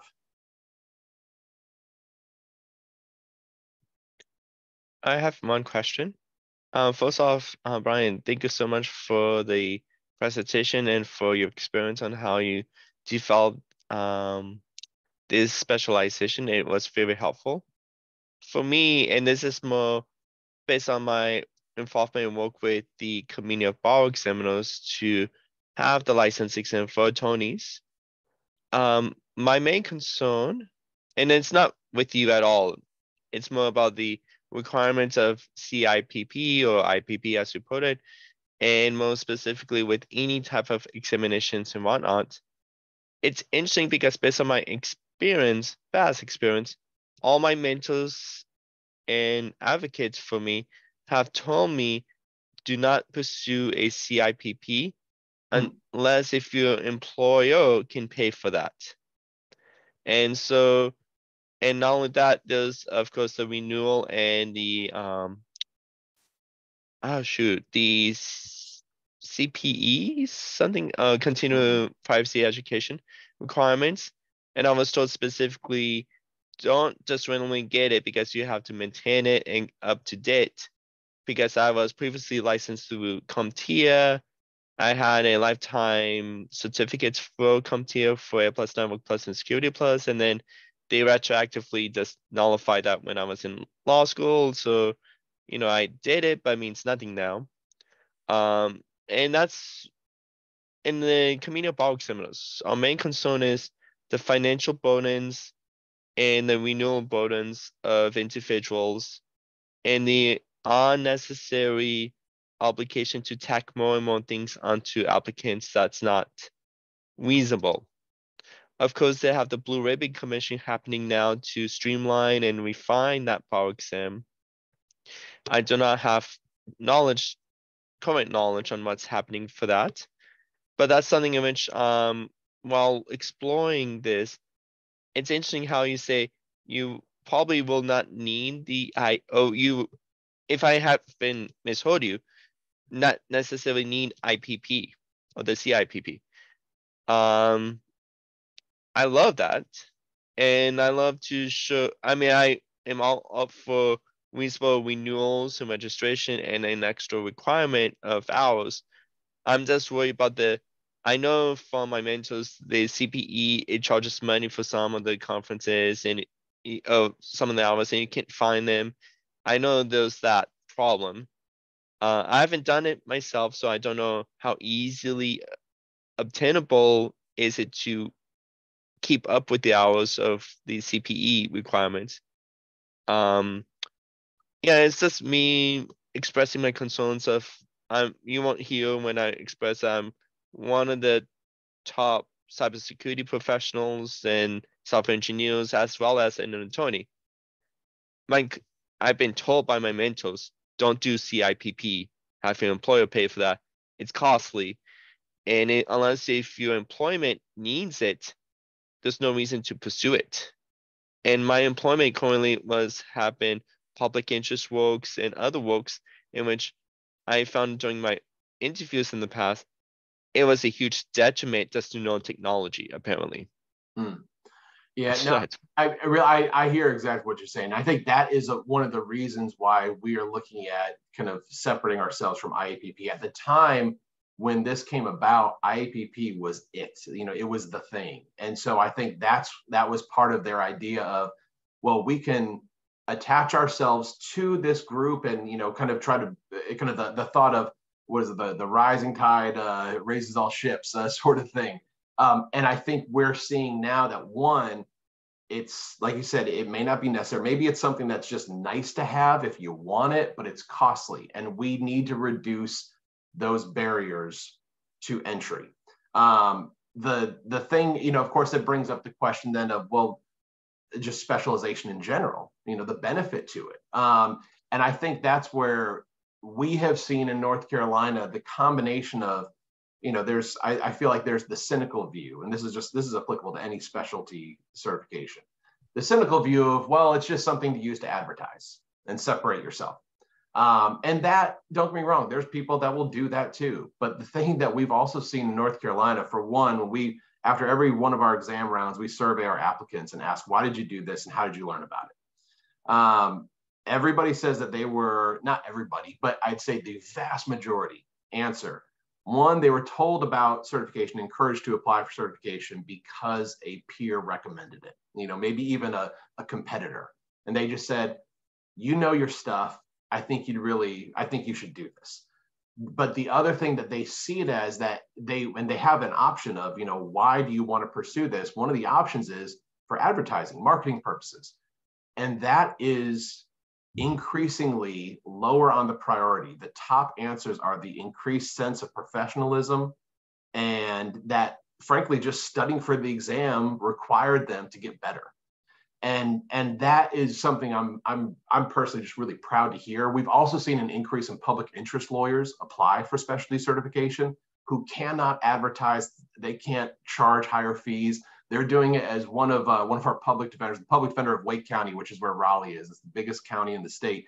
Um, he's a specialist, and he said that his his desire in pursuing certification and achieving certification was so that he can convince people to let him represent them for free. Uh, and and it's that sort of sense of the confidence in the legal services. So I hear what you're saying. It's it's one of those things where you know you don't want to unnecessarily create something that just tax on and it becomes this thing that well now everybody has to do it because they're trying to just keep up with the whole the the pack. Um, i'm i'm happy to say I, I get a different sense in north carolina. I think there are some areas where maybe that that has that sentiment but there's there have been just as many if not more sentiments of i'm doing this for me because i feel like i actually have achieved it. It's my journey. Um, and and i want to show folks what i can do uh, and let them feel confident in my services. Um, and so that's been that's it, but it's finding that balance, like you said, you know, it's and that's where I think we need to, frankly, I do think that that we probably need to separate ourselves so it's not a requirement to go with this national organization.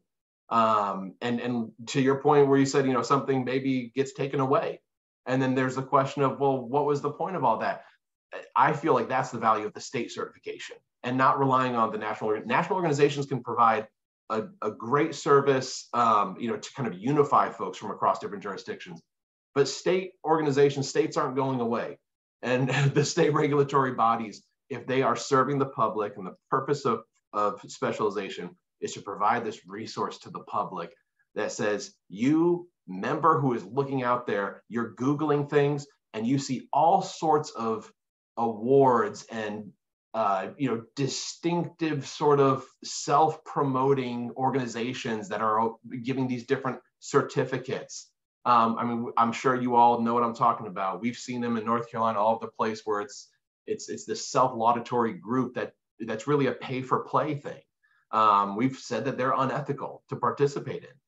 But when you offer an objective proficiency that's through this nonprofit that we call the our state agency, um, it's I think it offers a level of ob objectivity that benefits the public, and so it's it's finding that balance. I hear exactly what you're talking about, and I think those are the different steps that you can improve on. I I think there's there's a value to the state certification, um, eh, but uh, but it has to be reasonable to allow everybody to access it.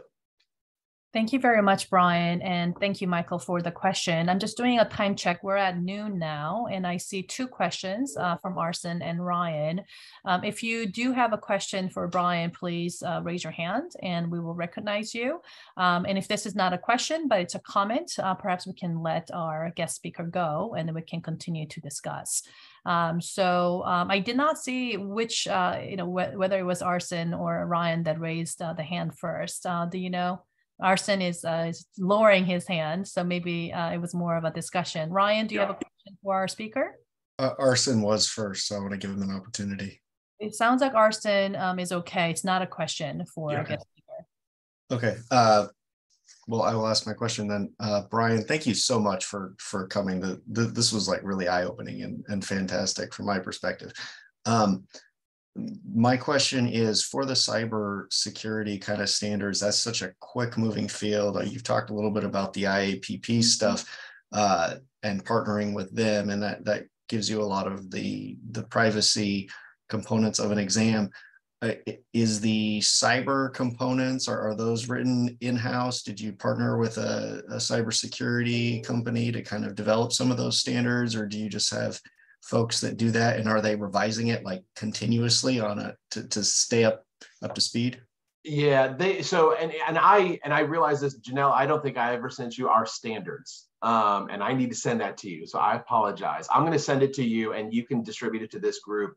Um, yeah this you're that's that's the the damnedest thing of doing any of these things whether you're talking about an ethics opinion because i'm the chief ethics counselor here too so that's you know uh, something else we do. We write these ethics opinions and as soon as they go to print they're outdated if they're discussing technology um, and so for one as far as the creation of the standards that we relied upon our community of lawyers that had the privacy and security practices in existence um, and they brought in outside folks too. You know, we they they went to the the bar association, the privacy uh, uh, section over there to say, you know, who wants to, even if you're not interested in being a certified specialist here, we want to get your input. And they they had a number of meetings in terms of drafting the standards as well as drafting the exam. What should be there? We had a round of a beta exam, got some feedback from folks.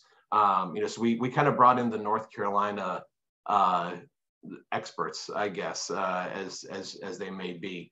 Um, but then, as far as drafting the standards, you know, there's I feel like there's that there's to me there's a fine line between specificity and and keeping it broad enough that allows the evolution of the practice area and that is something that's just going to be so incredibly specific like if, if you guys have you know just um the you know the california consumer privacy act or whatever like that's going to be on the exam whatever format it's in at the moment, whether it's 2023 or 2033, and maybe it's going to be something different. You know, we had this actually with immigration recently where we saw the standards that were drafted in the late 90s when I, I came into this role in the mid to or uh, 2010s and um, and started looking at some of the standards and saw there's there are terms in the immigration standards that just don't exist anymore.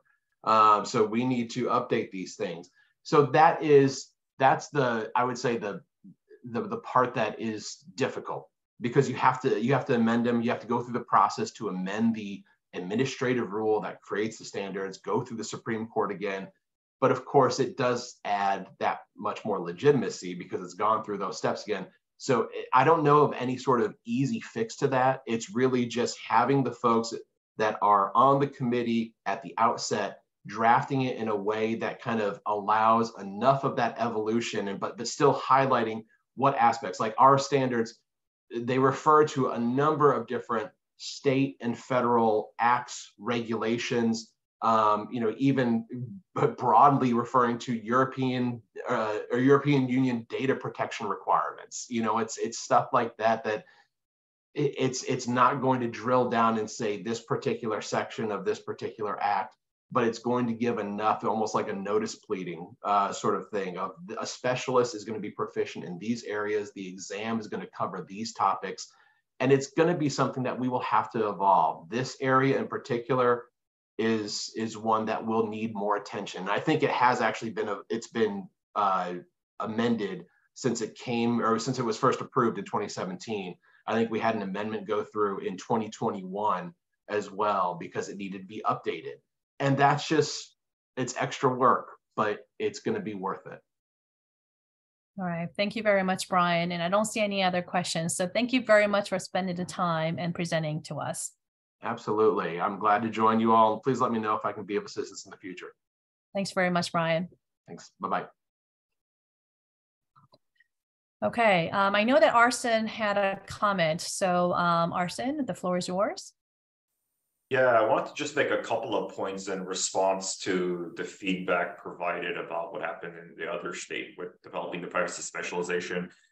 For starters, the CIPP US exam does cover cyber. Um, there is incident response section. It's a very comprehensive exam that covers a number of topics, including privacy, uh, the privacy laws throughout the United States, including the CCPA and as amended by CPRA, the other state laws, the sector sector specific laws, um, along with general privacy management issues, among other things. Um, so I don't I don't think it's not it's per se where the IPCIPP US exam is not sufficient to cover the cyber side as well. It's it's not just privacy. Um, second of all, although I don't think the IAPP system should be an exclusive mechanism for getting certified in California for a privacy specialization, I do think it should at least be an alternative avenue.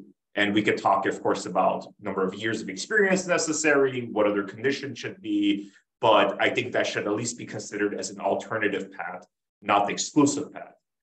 Um, the third point is I think maybe with other specializations for a particular state bar, um, whether it's admiralty or otherwise, if it's for the state bar, there's often a very much focus on what are the laws in this particular state.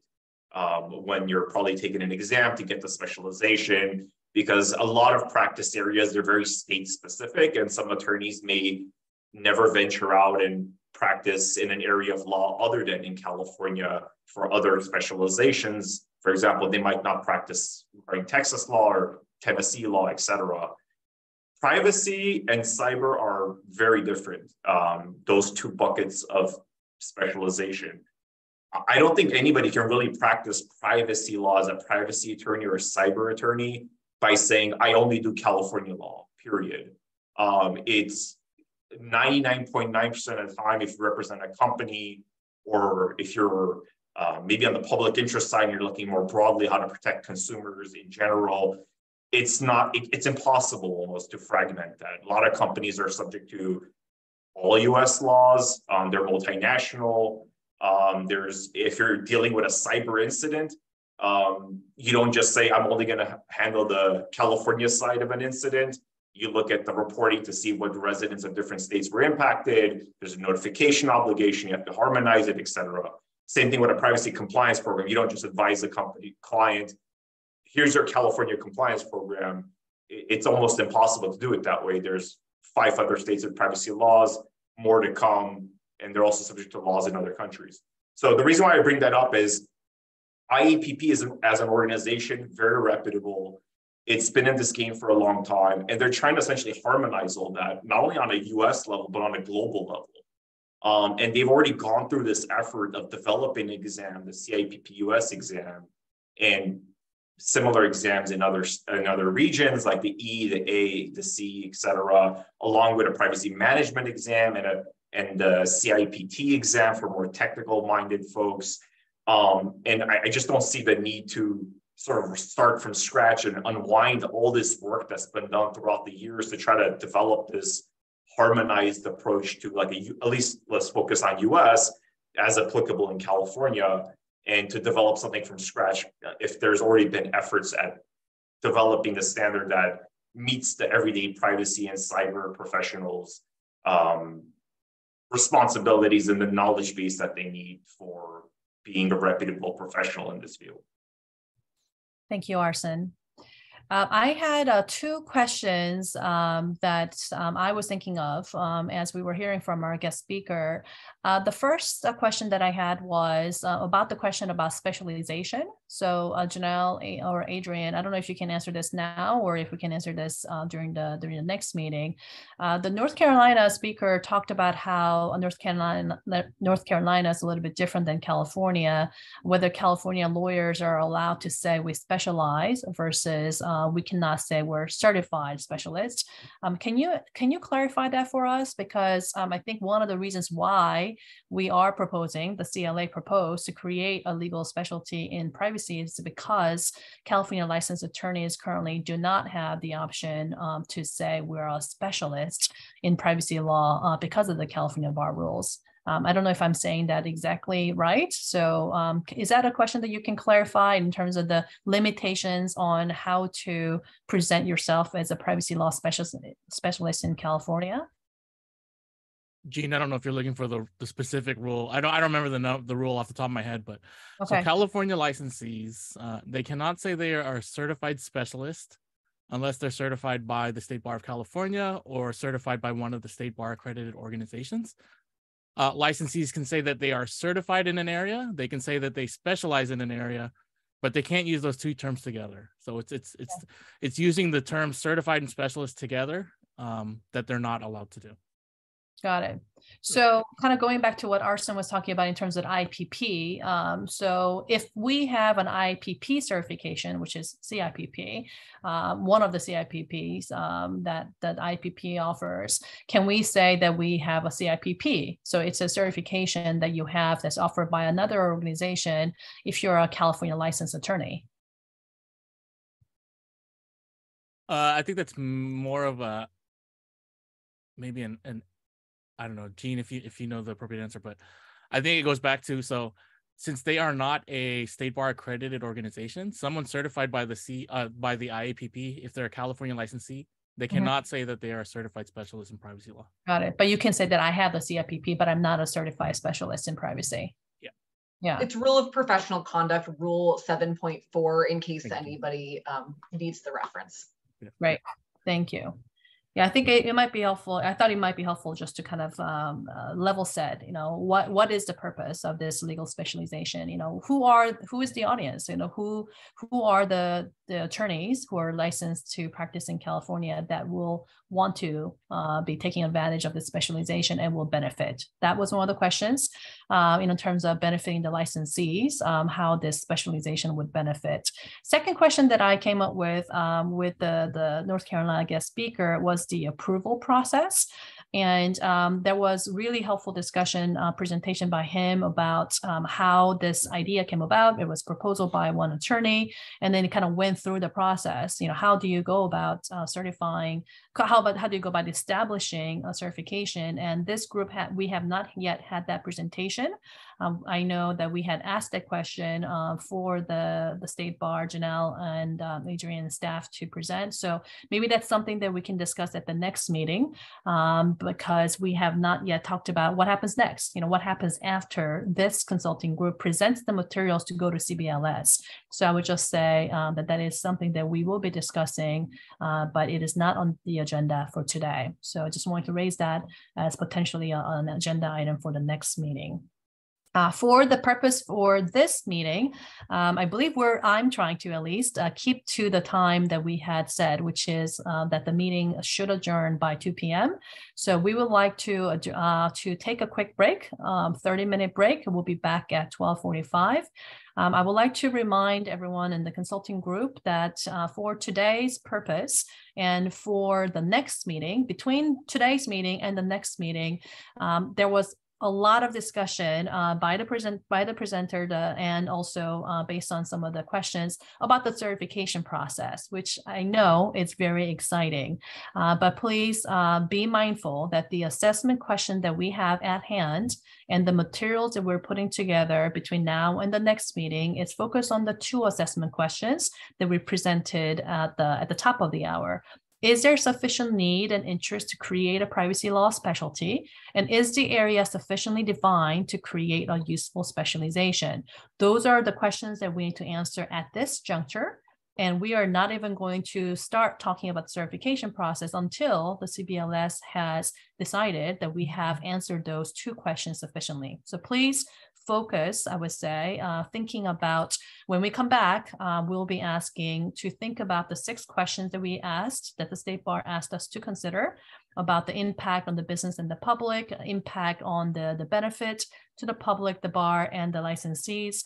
Please think about how we're going to go about answering those questions based on the findings that that uh, that we are proposing to put together.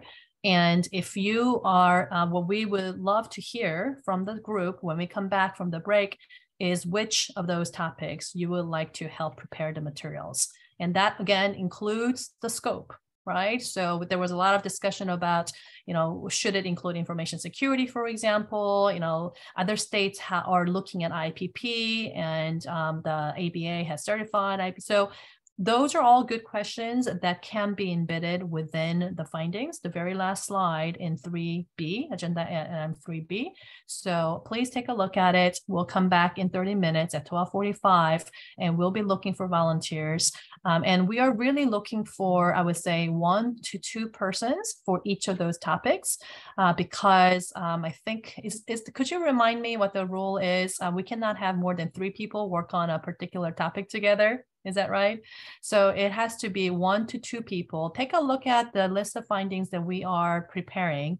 Some of these uh, materials are a finite universe. So, for example, um, legislatures with privacy focus, that is a finite answer. Privacy law today, not a finite answer, right? And so I would say some of these questions, we probably only need one person. Um, the questions that require a little bit more, um, you know, exchange and collaboration, we will be looking for two. Uh, so please kind of think about what your topic, your first choice, second choice, third choice topics would be uh, to volunteer to prepare the materials for the next meeting. Okay. Any questions on what we'll be doing at the next uh, part of this open meeting? If not, we will break and we'll see you at twelve Before you break, I saw Oh. a hand. I don't. I don't want to dismiss. I'm the- sorry, did I miss this hand? Yeah, I don't remember who it was. I think it was me. Okay. Oh, yeah. Yeah, I just wanted to, uh, I had a comment on the previous take about IAPP. It sounds like the distinction between that certification and where we may plug a need is that IAPP, I think, is fairly expensive and may not be something that is, you know, pocket friendly for a lot of young attorneys.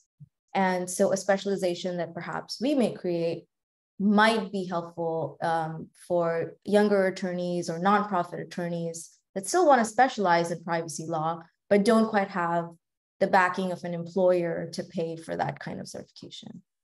That's all. That's that's exactly right. Um, so Smita, again, I would um, remind the consulting group to to think about how to prepare the materials that would answer um, the two questions. You know, is there a sufficient need and interest, and is there a sufficiently defined area, right? So, to your comment about, you know, for example, let's say the cost, um, I think what would be helpful is to to talk about the cost and maybe comparing, you know, this uh, specialization versus um, another certification in terms of is there a need and interest for a privacy law specialization that is at a lower lower cost? So if we are able to provide materials that um, that answer uh, the questions from the state bar, I think that would be the most effective. So kind of think about any, uh, and you know, I, I kind of see us going towards the certification question, right? So I would say to try to stay away from kind of thinking about what the certification process looks like, but really kind of think about is there sufficient need and interest for a privacy law specialization in California? Really kind of frame, you know, our materials and our presentation to talk about the need and interest. Okay. All right, we're going to break now uh, for 25 minutes. I'll come back um, here. So we're going to stop the recording and we'll open for the meeting again at 1245.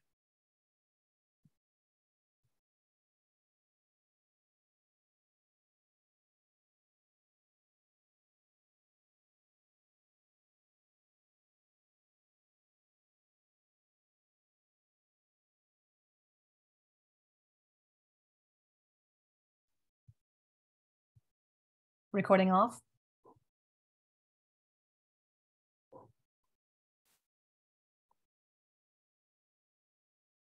Is the recording off?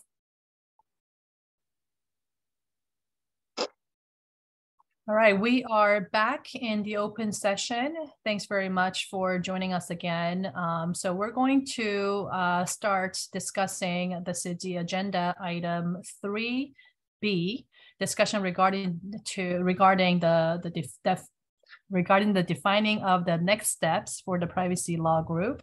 So we're going to be uh, talking about um, these questions that the state bar has asked us to answer. Please keep that in mind. Um, while we are discussing the findings, the materials that we will be pulling together, which is in the next slide. So if you can go to the next slide. So uh, these are uh, draft findings, and uh, you know we have asked the consulting group to take a look at um, how would we go about answering the need and interest question and the privacy law as a defined area question. And these are the materials that um, that we believe um, the state bar would uh, find helpful in finding yes, there is need and interest uh, for a privacy law specialization, and yes, privacy law is a defined area of law. So so we're going to be talking about a little over an hour here, um, and um, to kind of get the consulting group's feedback on which of these topics uh, they would like to work on in polling.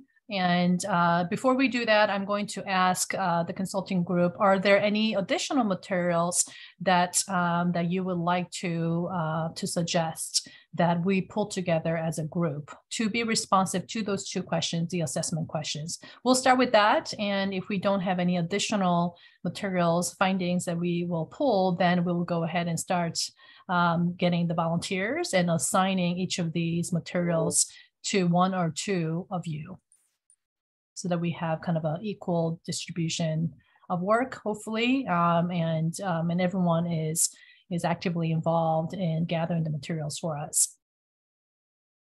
I'm trying to see if we have any show of hand suggestions for any other materials. I'm not. I see Hillary has her hand up. Hillary. Okay. Hi, Hillary. Hi. So I actually have a question, um, and that might inform. So when we say legislatures with a privacy focus, what exactly do we mean? Do we mean legislatures that maybe have a committee that's focused on privacy law? Is there? Yeah. Um, so maybe a good question, and yeah. um, I think I was uh, kind of rushing through these because I we had a guest speaker, so we're, uh, we're happy to kind of think through what uh, what Ryan and I um, initially and the staff were thinking about when we kind of proposed these as findings findings. So the legislatures is responsive to the question about again is privacy law a defined area of the law. So mm-hmm. the state bar is interested in taking a look at what does it mean uh, to have privacy privacy law, right? So we heard from Ryan with the presentation earlier, uh, you know, so we thought that one of the ways uh, to show that privacy law is a defined area of law is that there are committees or subcommittees, task forces, et cetera. That's the way I would think about it. I don't think there's to say committee. Uh, so, for example, in California, there is the Senate Judiciary Committee, but in the purpose and the mission of the Senate Judiciary Committee, it spells out clearly that privacy is in scope for their work, right? So although privacy is not in the name, it's a Judiciary Committee, privacy is clearly an area that the Senate Judiciary Committee works on, and the Senate Judiciary Committee for California actively works on, um, on legislation focused on privacy. So that's kind of an example that we had. And so um, California has, uh, like I said, the Senate Judiciary Committee and the Assembly that's focused on privacy. But I was thinking to some of um, the the comments uh, earlier. Um, you know, I I I my personal uh, thinking is that it should not be limited. Our our presentation to California should not be limited to the California legislature. Um, I would have th- uh, thought that we can talk really about the you know all of the legislatures in the United States. And maybe the question is even outside of the United States but that's really kind of the material that we're hoping um, one or two of you uh, would present back um, to our our uh, group meeting. You know what is the scope? Um, is that are we talking about california only? Are we talking about all us 50 states um, should we care about legislatures um, outside of the United States that are actively um, uh, establishing laws in privacy? Um, so that would be up to the person who works on that particular research topic. Does that answer your question, Hillary? Okay. Um, I think I saw Oliver first and then Smita. I don't know if I got that right. So Oliver? Hey, Juwan, uh, if you wouldn't mind putting me down to either take on this task or partner with someone else, and I'd be interested in other states with privacy law specializations and reporting back. Okay. All right. So um, I'm going to take notes here, but Adrian and Janelle, please uh, help me take notes as well, because uh, I want to make sure that my my notes are accurate. So I have Oliver raising his hand for the first one. So I'm just going to put numbers next to them just so that we can keep them organized. So I believe we got five on the, the need and interest, and we got three on the privacy law as a defined area of law. So we got number one topic on the left-hand side, Oliver. And do you have, oh my goodness, now I, uh-oh, Janelle, I'm gonna need help um, in determining uh, who raised their hand first. Um, I know Smita is next, and then uh, Janelle, please keep an eye on um, the order which which we had the, the hands being raised. Smita? Sure. My question was around law schools with privacy law curriculum. I am so uh, again, are we thinking of law schools nationally with privacy law curriculum, right? Outside of the outside of just California, right? Yeah, good question. Um, I would say again, you know, the person who is pre- presenting the materials, I think it's up to you. Um, and I think we are really kind of the state bar is asking for this consulting group to to respond to the question of, you know, is this a defined area of the law? Mm-hmm. So I think it would be up to the person who is pulling uh, the materials to say, know, here is a list of law schools in California or outside of California. And because of this material, we think that, you know, this is an, a defined area of law. So okay, I can do that one. You can do that one? Okay.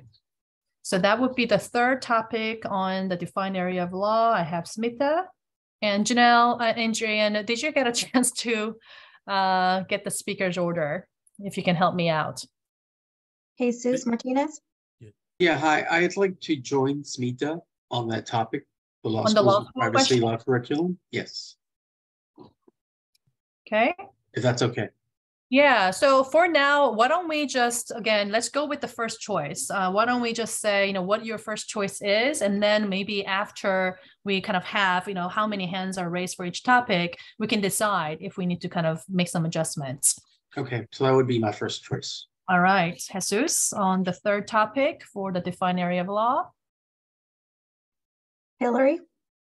Um, I guess my first choice would be other states with privacy law specializations. So now we have Hillary and Oliver on the first topic on the left, need an interest. Lindsay. Oh, and could you uh, rate and lower your hand if we have addressed your question or comment? Okay, Lindsay? Yeah, I was I was of course going to volunteer for the law schools with pr- privacy law curriculum. I think that looks to be full. Um, my uh, second choice would be um, enforcement actions with privacy focus. Okay, so I got Lindsay on the enforcement action. Um, and so um, in terms of next steps, uh, yes, please tell us kind of what your first choice and what your second choice is. And then after we get everyone kind of volunteered for each of these, I think we can make adjustments, you know, depending on kind of what, what our areas of expertise is and, and interest uh, personally on these topics. Um, having said that, um, even if you are not the first drafter for this topic, um, at the next meeting, we'll be able to discuss it. So I will say um, that, you know, if you are the, the first or the second person putting together the materials, um, the rest of the consulting group will have a chance to opine on the materials presented by each member at the next meeting. So Lindsay, if you end up not uh, being the first drafter on the law schools, um, you, we will absolutely would like to hear from you on that topic. Okay, keeping that in mind, uh, who's our next uh, speaker? Robert. Yeah, so just uh, a point of the question is the difference between states with privacy law specializations and bar associations with a private privacy specialty. Yeah, So- good question. Um, I'm sorry, go ahead. Yeah, because because I'm interested. I was going to say the bar associations because being a non-attorney, I don't want to get too deep into the legal matters of privacy law today and whatnot. But um, you know, what is the difference between the two? Yeah. Uh, so first of all, the privacy law specialization is the the specific legal specialty that our North Carolina speaker talked about. So there is um, there are I, I want to say handful, but it's actually a lot more than handful. So there are a number of states that have a privacy law specialization. So North Carolina being the first, as our speaker talked about, and so that is actually a finite universe, right? Uh, we have a number of states that already have uh, decided either to create their own certification standards or have adopted the IAPP, uh, CIPP, and uh, the ABA um, approved process as creating a specialty. So I would say number one is actually a finite universe in terms of research. The second one um, would be um, a little bit more open. Um, it's not a finite universe because it does require just looking at the different bar associations. Um, the question is, um, is there sufficient need and interest in privacy specialty at the bar association level? So for example, I mentioned the California Lawyers Association, which are the sections to the California State Bar. Uh, we just established the privacy law section in 2020. So the California State Bar, um, uh, uh, California Lawyers Association, which is the which is the sections of the state bar, uh, we have a separate privacy law section. But um, I would say that it's not just bar associations with sections, right? Because there are committees, there are task forces, there are subcommittees. Uh, so, you know, it would really, if this is something that you would be interested in, Robert, it would be to take a look at some of the bar associations uh, at the state level. So I looked at New York, for example, just to kind of see what New York bar does. uh, but also taking a look at a couple of more local uh, bar associations like the Bar Association of San Francisco or Orange County Bar Association. Um, you know, those are the ones that, that come to mind. So there are local um, county or city bar associations. There's also minority bar associations that have created privacy specialties. So I don't think it has to be an exhaustive list. Um, and I, I, really, this is an exercise of is there sufficient number of bar associations that show that there is a need and interest in a privacy specialty? Does that make sense? Yeah, so you can put me down for that one. All right. Who's next? Oh. Hi, um, I will be interested either in the first the first topic, the states with privacy law specializations, or the second one, the bar associations with uh, privacy specialty. Okay, I'm putting you down for those two, Paul. But having said that, I am probably going to ask you to move because okay. um, because I think the first two questions are pretty limited in universe. Um, I I will just you know make a plea uh, to this group. The California privacy cases that's that's a pretty meaty subject. Um, I think the enforcement act. So California privacy cases. That's we're talking about um, litigation. So if there are any litigators in this group, please help us define what does it mean to have a California privacy case. Are we talking about CCPA cases only, for example, right? Or do we care about you know, ECPA cases, um, invasion of privacy cases? Do we care about data breach cases? So I think California privacy cases is a pretty meaty subject. Um, enforcement actions, again, a pretty meaty subject. So I'm really glad that Lindsay um, had volunteered to help with that because that is to really have a, a, you know thought a leadership on who are the agencies um, that are uh, that are bringing enforcement actions with privacy. Privacy law today those are that is again a pretty meaty subject and ryan got us a good start. Um, those are the ones that i think are that really kind of require a lot of focus.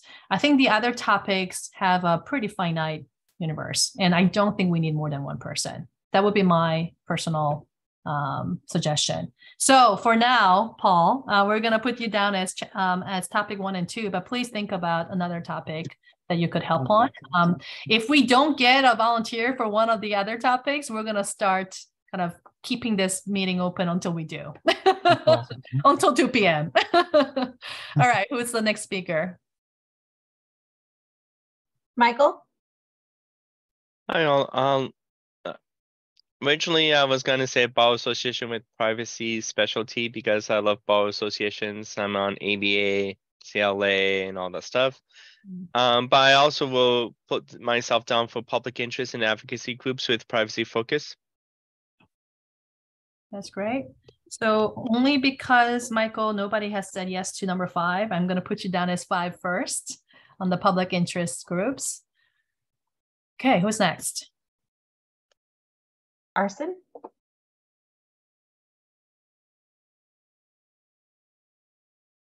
Arsen? Sorry, I was on mute. Uh, I can cover privacy law today. Okay. Can we get all of the hands? And Hillary. Uh, Hillary. So I will switch, knowing that other states with privacy specializations is finite and do California privacy cases. Oh, great. Thank you. Mm-hmm. Appreciate that. All right. So Paul, I'm looking at my my notes. It looks like legislatures with privacy focus, we don't have any volunteers. So unless uh, one of the group members really excited to do that, Paul, could we help? Uh, could we get your help with that? Um, so the number of legislatures um, that have a privacy focus. Oh, sorry, I was muted. Uh, um, you, know, just to clarify, what do you mean by legislatures? Just to be sure we're on the same page. Yeah, sure. So legislature is a lawmaking body. So Mm-hmm. looking at California, that would be the Senate Judiciary Committee and the Assembly um, that does rule that that does make um, that makes laws in the area of privacy. So Mm-hmm. um, the first question for you, uh, for anybody who is preparing materials for the legislatures, would be what are the legislatures that are enacting laws uh, that have a privacy focus? Um, and uh, do we uh, do we have committees, uh, task forces, um, subcommittees, um, and uh, and and basically bodies of the legislatures that seem to have a focus in enacting laws in privacy? So it would be up to you to define. Uh, would that be California? Would that be the U.S. Fifty states? Um, I think that's probably a good place to start. Taking a look at is there a committee that's focused on enacting privacy laws in each of the states in the in the 50 states, and then maybe a handful of examples that are outside the U.S. Um, really, the whole point of this question is is privacy law a defined area of law? And if you take a look at the number of legislatures that have either passed privacy laws or have a committee that's looking to to debate and to pass privacy laws, uh, I think that would be responsive to this question. Okay, so the, um, so so my question was more in relation to do we need to identify specific uh, uh, committees which are specifically focused on privacy, or can they have a broader focus and touch on privacy as well?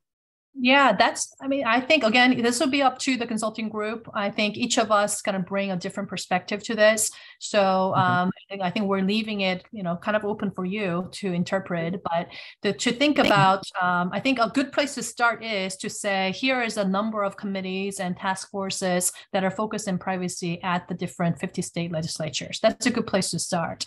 But to your point, Paul, I agree with you. I, I think, um, you know, even if like the Senate, right? In California, the Senate does not have a privacy committee, but the Senate Judiciary Committee makes it really clear in their mission statement that they will enact privacy laws, and it's their role uh, within the California Senate to pass, um, to debate and to pass uh, laws focused on privacy. So I would not limit to the list of committees. I would uh, to take a take a look at um, if there is enough evidence that you can present to the bar that privacy law is a defined area of law by looking at the legislatures. You up, up to it? Yeah, sure. Okay, great. Do we have any other consulting uh, group members that have wanted to volunteer for one of these topics and did not get a chance to?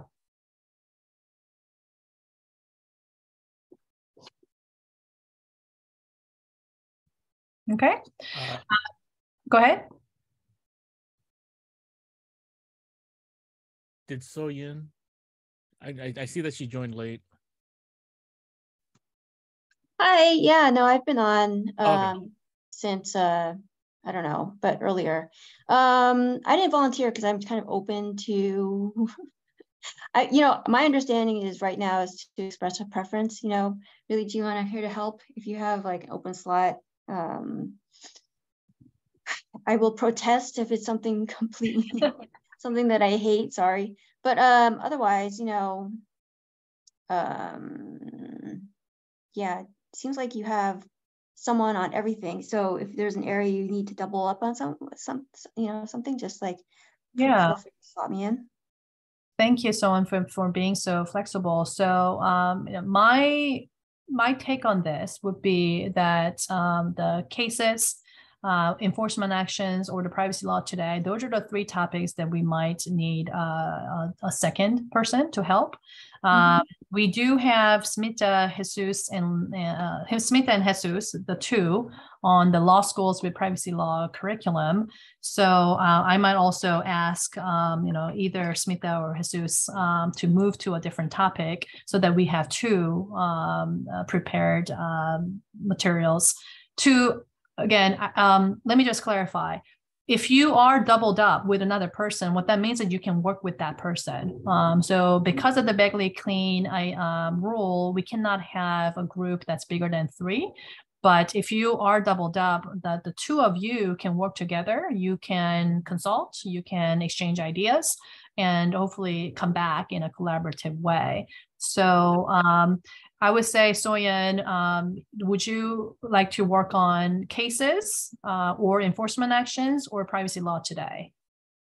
Um, you know, I think, uh, I mean, either of those three are fine. Um, I think I can also help with the cases and enforcement actions because it seems like it's more targeted. Um, so if it's helpful to do either of those, then um, yeah, Okay, so Soren is being flexible uh, to help either Hillary or Lindsay on the cases on the enforcement actions. Then let me ask Jesus. Jesus, uh, you uh, volunteered to help with the law schools, but um, I think Smita has got it.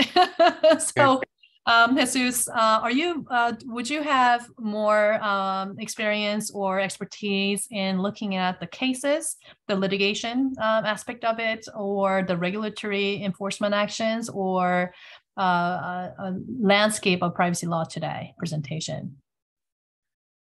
The landscape of uh, privacy law today. Okay, then um, I think Jesus is offering to work with Arsen on the privacy law today. So that leaves Soyan to help either Hillary or Lindsay. So Hillary or Lindsay, who would like Soyan's help? would love to have you. All right. I think Lindsay spoke first. So unless Hillary is protesting.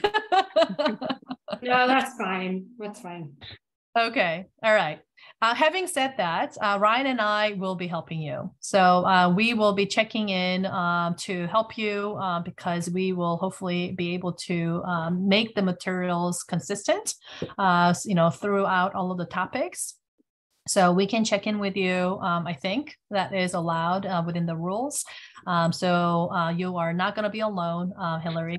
Uh, we'll be checking in on you to make sure that the materials that we put together are presented in a way that's consistent uh, because we're going to be putting this all together in one package for the bar to consider. And please, um, I would like to just remind everyone, I'm so glad that this meeting is recorded because I'm probably going to be watching it uh, maybe over and over again. Uh, there were um, there was a lot of information provided um, during the staff report in terms of the strategic plan. Please keep the strategic plan of the, the state bar in mind. Uh, please keep in mind the assessment questions. These are the questions that we are asked to answer. So uh, please keep your materials uh, you know, pointed to answering those two assessment questions, um, which is need and interest. Is there a need and interest for privacy and uh, privacy law specialization? And is privacy law a sufficiently defined area of the law that would warrant creating a special specialization. So please keep those assessment questions in mind um, as you are pulling the materials together. And if you have any questions about um, you know, whether the scope that you're looking at is correct or the materials that you're putting together um, is the right material. If you want to just chat with one of us, uh, Ryan and I are available. Um, so we'll be uh, sending a note to each of you to open um, that line of communication uh, to work on uh, between now and the next meeting. So again, we are working towards building that, that larger package that will be presented to CBLS. Any other, oh, I see Paul has a hand up. Um, yeah, what is the time frame to submit uh, the response to the uh, the research? Yeah, good question. Um, I know that there was a tentative uh, meeting date, um, Adrian, that you were thinking of, Adrian and Janelle. Uh, can we tell them the date that we're thinking of now? Okay, uh, I'm, I'm seeing a head nodding. So uh, June 1 is the date that uh, the state bar would like us to meet um, at the, the next time. What that means is for each of you by April 24th, so about a month from now, the, the materials that you are pulling together to answer each of these questions will be due.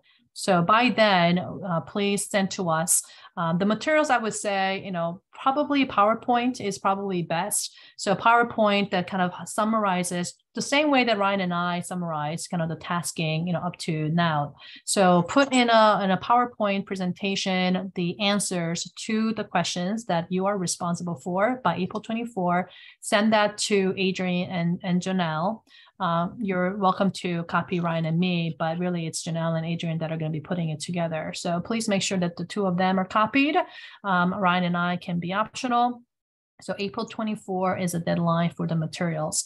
We'll continue to work with the staff. Um, Adrian and Janelle will pull all of the materials from the, the group and that will be sent back out to the group um, in terms of the, the larger presentation, uh, you know, the same way that this uh, meeting was sent out. So you will see the agenda being posted and you'll see the written materials and the supporting materials uh, being posted uh, for the public um, to, to review uh, accordance with the rules and the procedures for announcing the public meeting. So April 24 for the deliverables due, June 1 for the next uh, public open meeting. Any other questions? Oh, just a quick comment.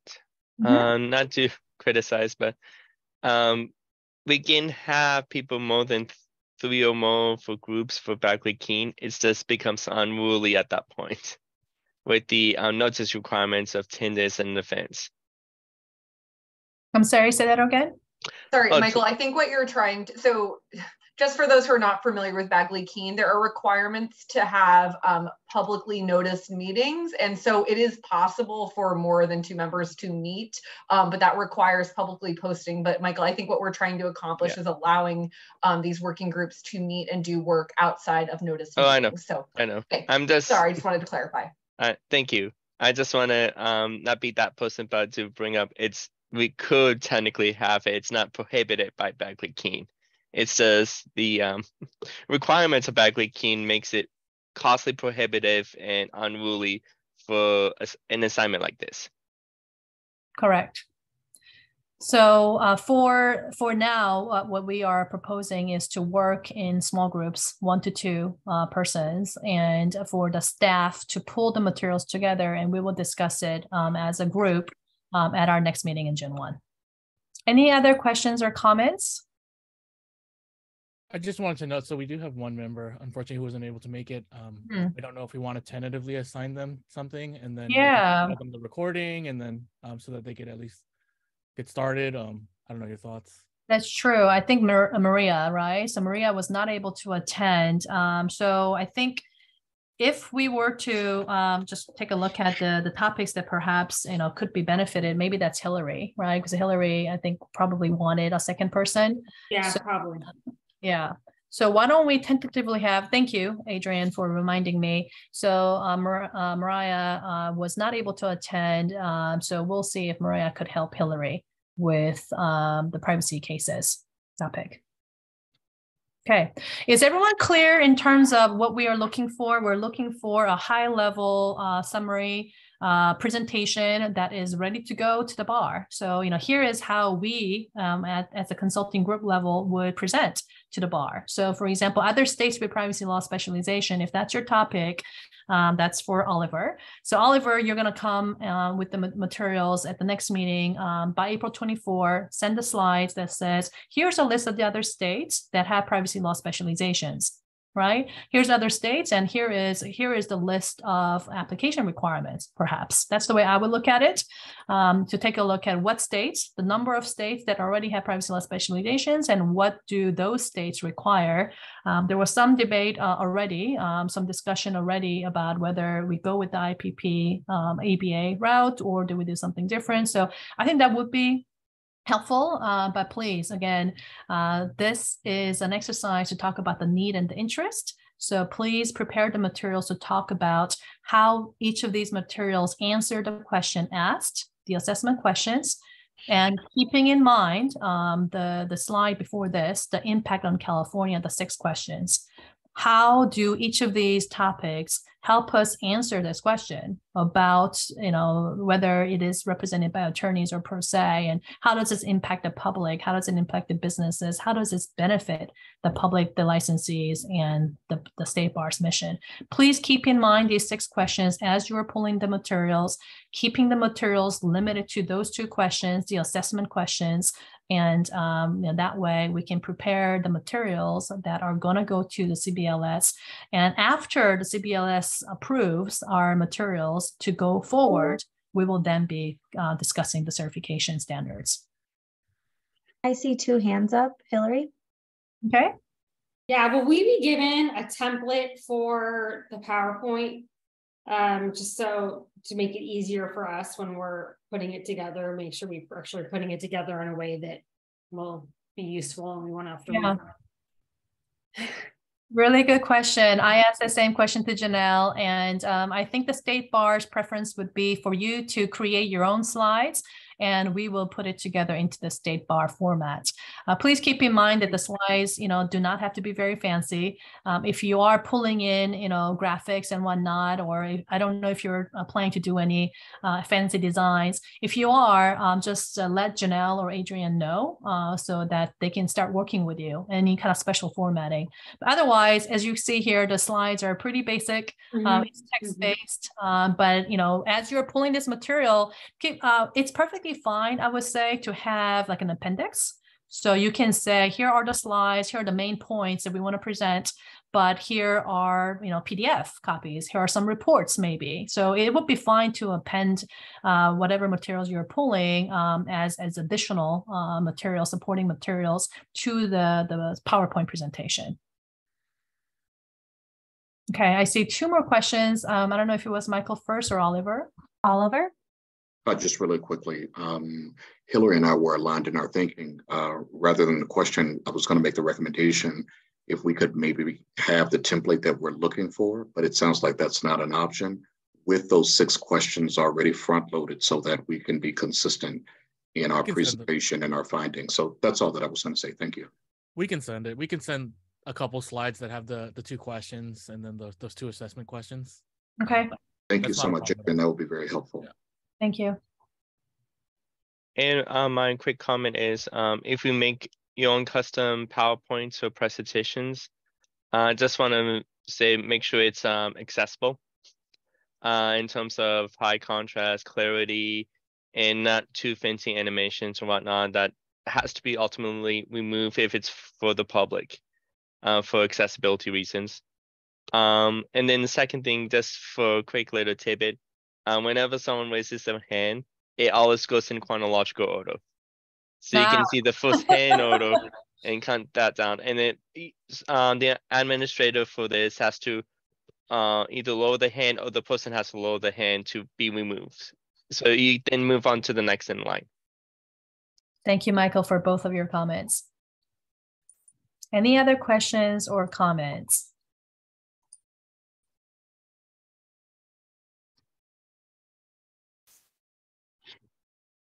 Okay, seeing none, we really look forward to working with you. Thank you for your time. Uh, this concludes all open session items. There are no closed session items on today's agenda. I hereby adjourn today's meeting. Thank you. Thank you. Thank you, everyone. Have a good weekend. Thank you. Take care. Thank you. Thank you. Please stop recording.